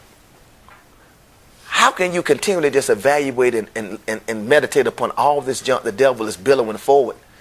And you got all these internet sites, the Vigilant Citizen, and all this stuff just giving exposes all day long another expose. The devil's doing that. You know why he's doing that? Because he knows one thing. While you examining him, you know what you ain't doing? You ain't destroying him. You ain't coming against him. You sitting at home on your internet. Then you telling people, posting, look at this.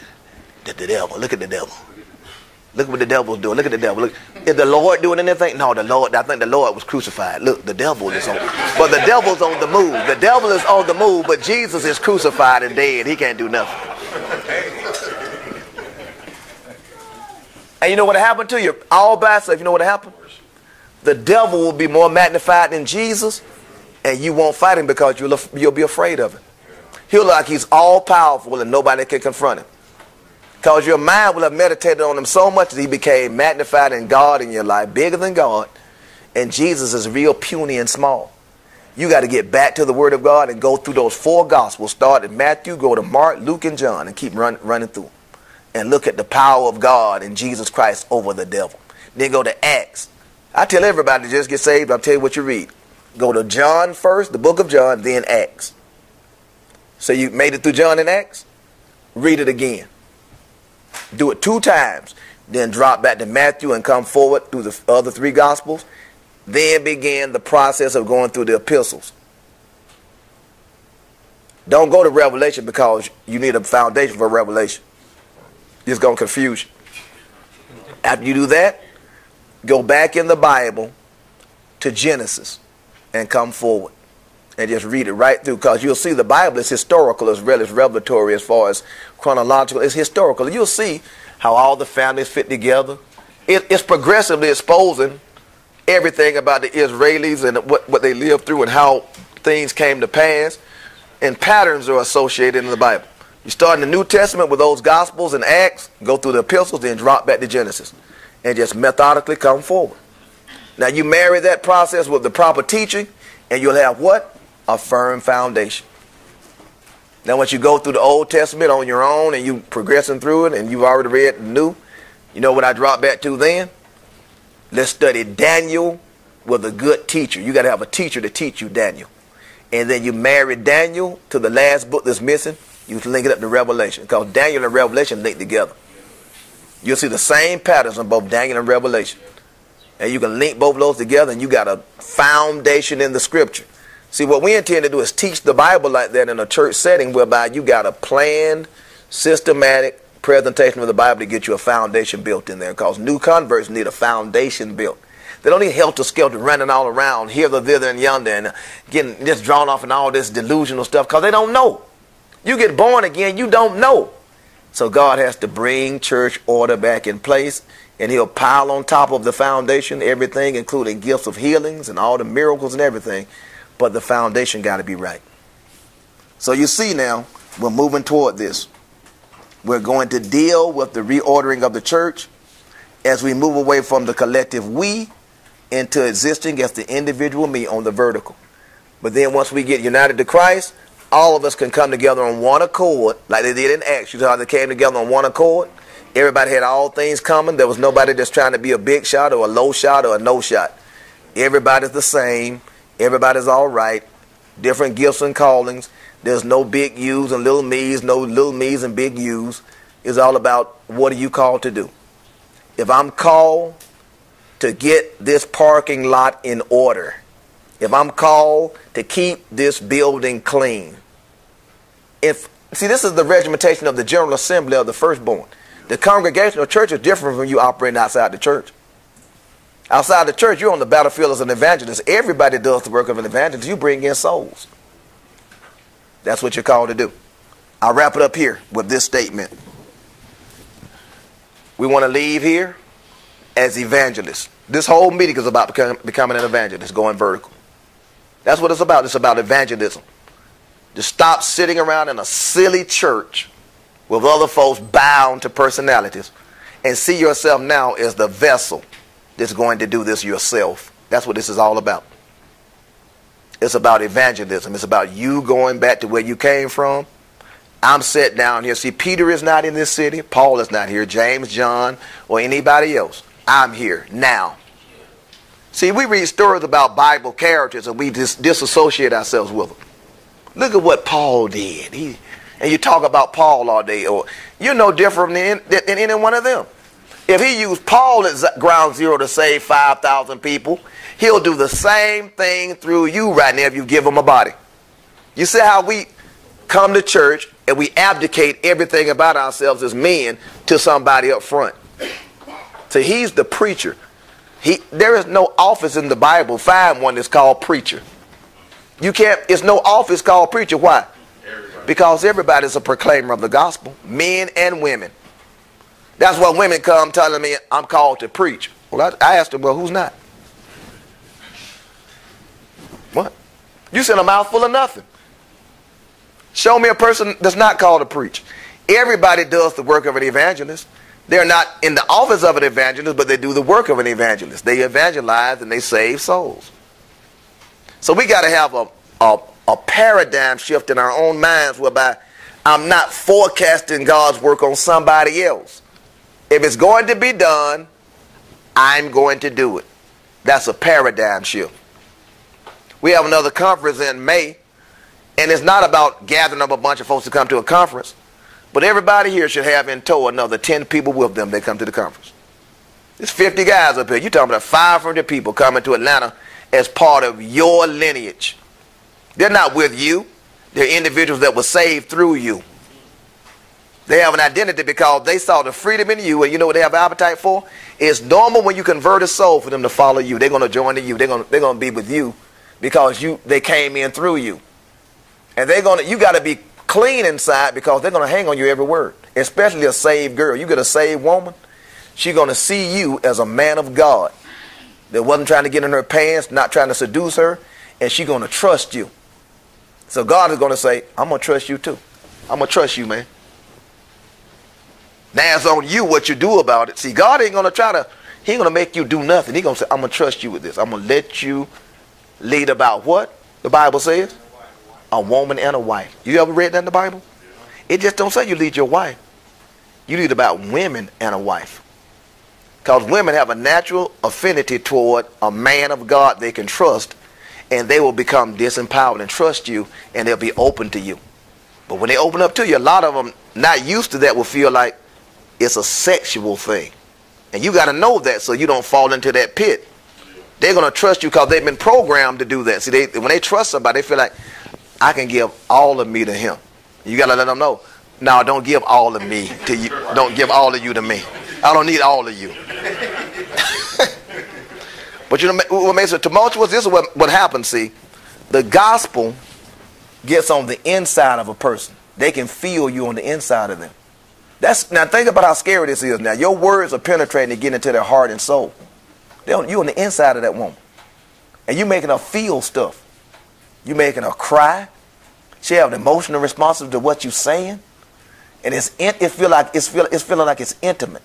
You got to know that now. This is what I'm describing now is a dangerous area. You got to have the right mind to do what I'm talking about because see, when she's standing there and looking like, you know, Beyonce or somebody, and she come to you with tears in her eyes talking about what you said just really touched me. It really touched my soul.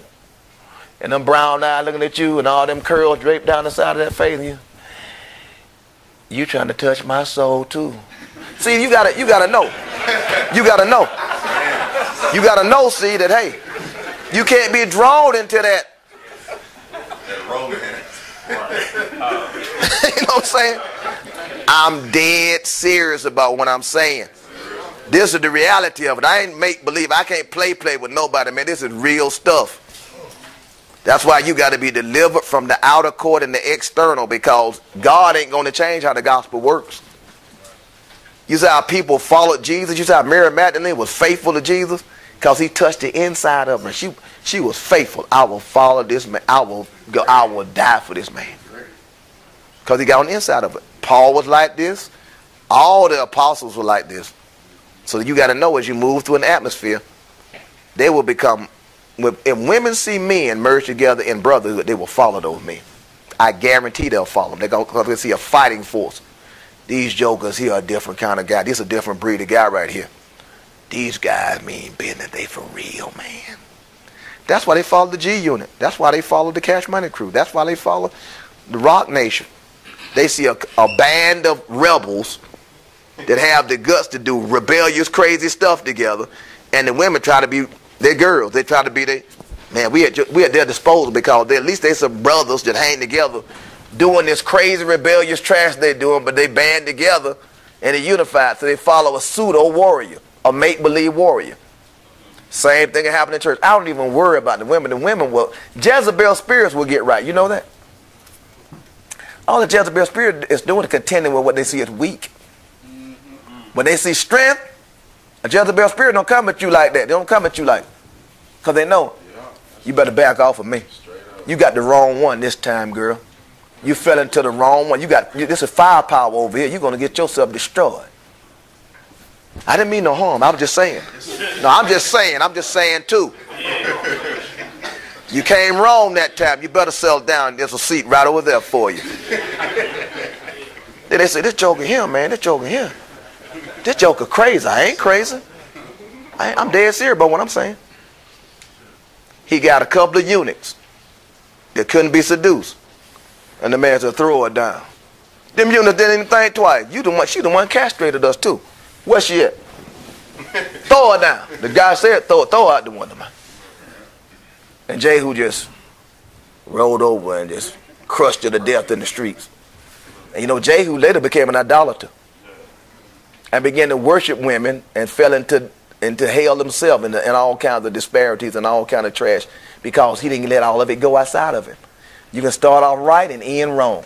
The apostle says, I keep under my body lest I become a castaway after I preach this gospel. That's why you got to not get in God's presence. You got to stay in God's presence.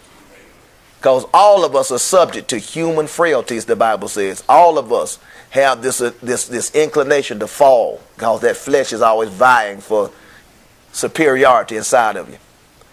You go home and you begin to really minister the gospel to folk on your job, women on your job, men on your job, and they begin to get saved. It's normal for them to first of all join you because you're all they know. They came out of the world born again. They don't know nothing about this. So they're going to take your words and your advice to heart. You tell them, listen to this right here. I got a book. Read. They're just going to go read it. They're not going to think. They don't know. So you can't have bad doctrine. Think about what I'm saying. You giving them bad doctrine, leading them astray because you're ignorant and bound in bad doctrine. You got to get good doctrine. Timothy, first and second Timothy, are all about doctrine. You, you know how many times he used the word doctrine in those two books? Keep yourself pure. Give heed to the doctrine. The doctrine. The doctrine. Man, you got to have the right doctrine, man. You give them, giving them books, listening to the tapes, giving them stuff to work with. You conducting a Bible study at work and whatever, people getting saved. You got to have the right doctrine.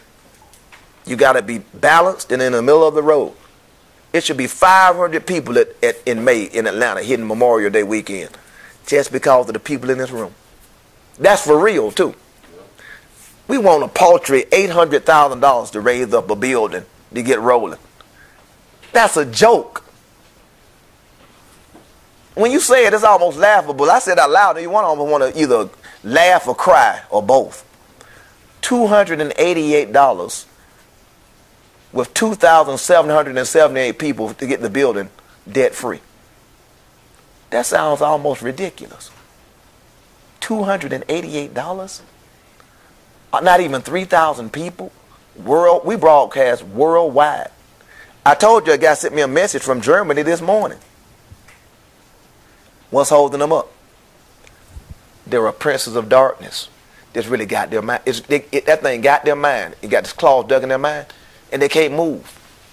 They'll listen. It's people in Atlanta listen to this broadcast every week, sitting within five miles of the building. And that, that claws of that demon got, got their mind. They can't even get out the house in the morning to come. Can't move. We fight a metaphysical, supernatural war. It's incumbent upon the guys that would travel a thousand miles to hear this to say, you know what? I'm not going to come in and listen to this and hear about it.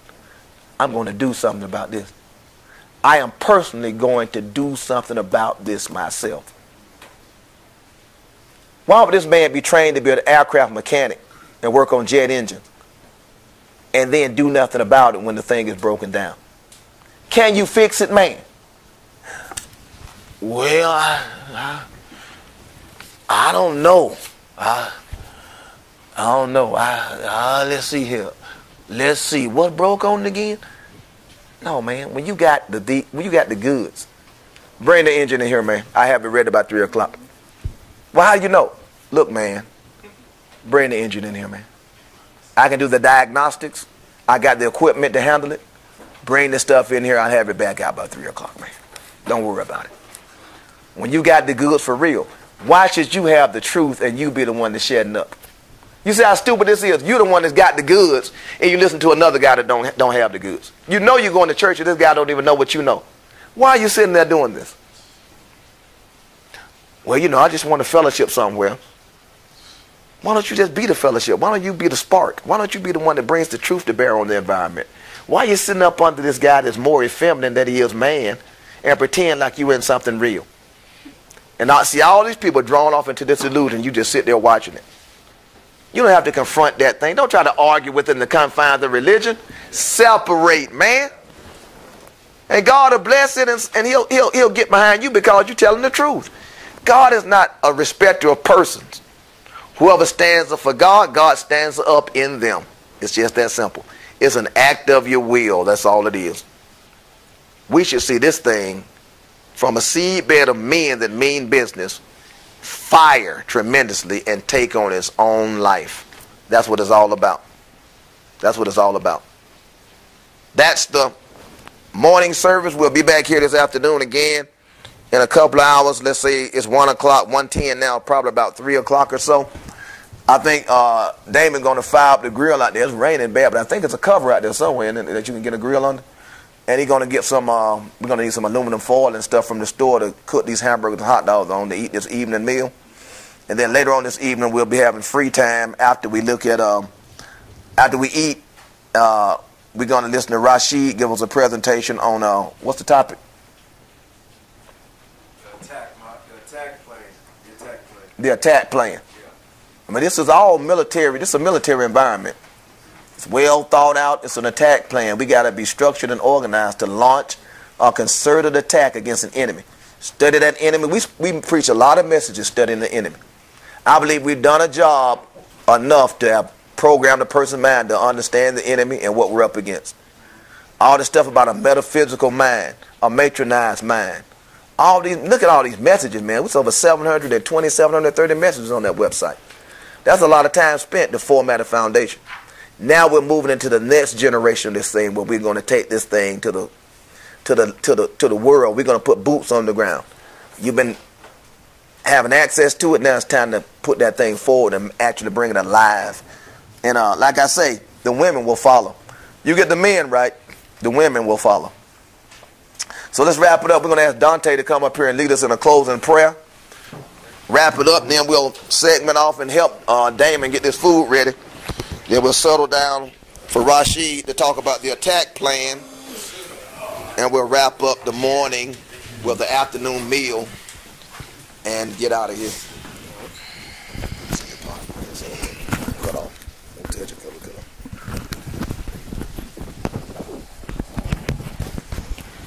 All right.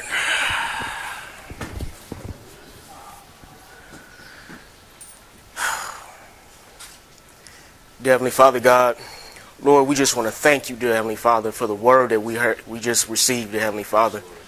Dear Lord, Heavenly Father God, just allow it to penetrate us, dear Lord. Just continue, dear Lord, to just pour out your Holy Spirit upon us and continue to feed us, dear Heavenly Father God, on a daily basis, dear Lord. Dear Lord, Heavenly Father God, we ask that you just continue, dear Lord, to just strip us of ourselves, dear Lord, Heavenly Father God. Don't let anything, dear Lord, bombard us to the point that we submit to something else, dear Lord. Help us to stay focused and keep our minds stayed on you and stayed on Jesus, dear Lord, stayed on the Word of God. Dear Heavenly Father God, Lord, we just ask that you just continue to just lead us, dear Lord, in the right way, dear Heavenly Father God. Don't let us get sidetracked. Dear Lord, there's too much going on right now, dear Lord, for us to get sidetracked, dear Lord. Dear Heavenly Father God, we ask that you just continue to embolden us, dear Heavenly Father God. Dear Lord, help us to go out here, dear Lord, and not be ashamed, not be afraid, to just go out here, dear Lord, and attack. Dear Lord, I'm tired of being on the defense against Satan. I want to go out here and do something. I want to go out here and move and shake. I'm tired of just standing by, dear Lord. It is time for us as men to form up, dear Heavenly Father God, and to go out here and to be soldiers, dear Lord. Dear Heavenly Father God, I pray that each person here, dear Lord, that when we go back home, dear Heavenly Father God, to wherever we came from, that we go and we make a difference. Dear Lord, Heavenly Father God, those who are that are in these churches, dear Lord, that are, they are not growing in, that they are they've hit a ceiling in, dear Heavenly Father God. Help us to separate from it, dear Lord, and to go out and do, dear Heavenly Father God, the works that you said that we would do. Dear Lord, we want to be doers, not just hearers, we want to be doers. Dear Lord, Heavenly Father, it's not enough to just sit and just listen and not do something. We need to be proactive, dear Heavenly Father God. Dear Lord, this is a warfare that we're fighting. Dear Lord, nobody comes to you, dear Lord, Heavenly Father God, without us moving and doing something about it. Revealing, dear Lord, your word to them, dear Heavenly Father God. These people are they are blind, dear Lord. And then it is up to us, dear Heavenly Father God, to go out there to Him and reveal reveal you to Him, dear Heavenly Father God. Dear Lord, just continue to put a message in us, dear Lord, that will just that will just dear Lord, just shake the foundations, dear Lord, shake the earth, dear Heavenly Father God. We are we are we are more than conquerors, dear Heavenly Father. We're more than conquerors, dear Lord. And dear Heavenly Father God, I pray that you just people dealing with the situations with their wives holding them back, dear Lord. Father God, help their wives to get in line, dear Lord, because they are being obedient to you. Dear Heavenly Father God, those who are dealing with situations with their kids, dear Heavenly Father, being out of control. Father, I pray in the name of Jesus Christ that you keep these kids, dear Lord. That you continue, dear Lord, to help us to pound this word into them, dear Lord, so that they don't stray. Lord, We are just so thankful, dear Lord. We're grateful. Many of us don't have this. Many of us are out here by ourselves, it seems like. But, dear Lord, we thank you for giving us an assembly to come together, dear Lord, to be with like minded people, dear Lord. Thank you. Thank you. Thank you. Thank you. Thank you, It's in the name of Jesus Christ we pray and we give you all the honor and the glory, dear Lord. Thank you. In Jesus' name, amen.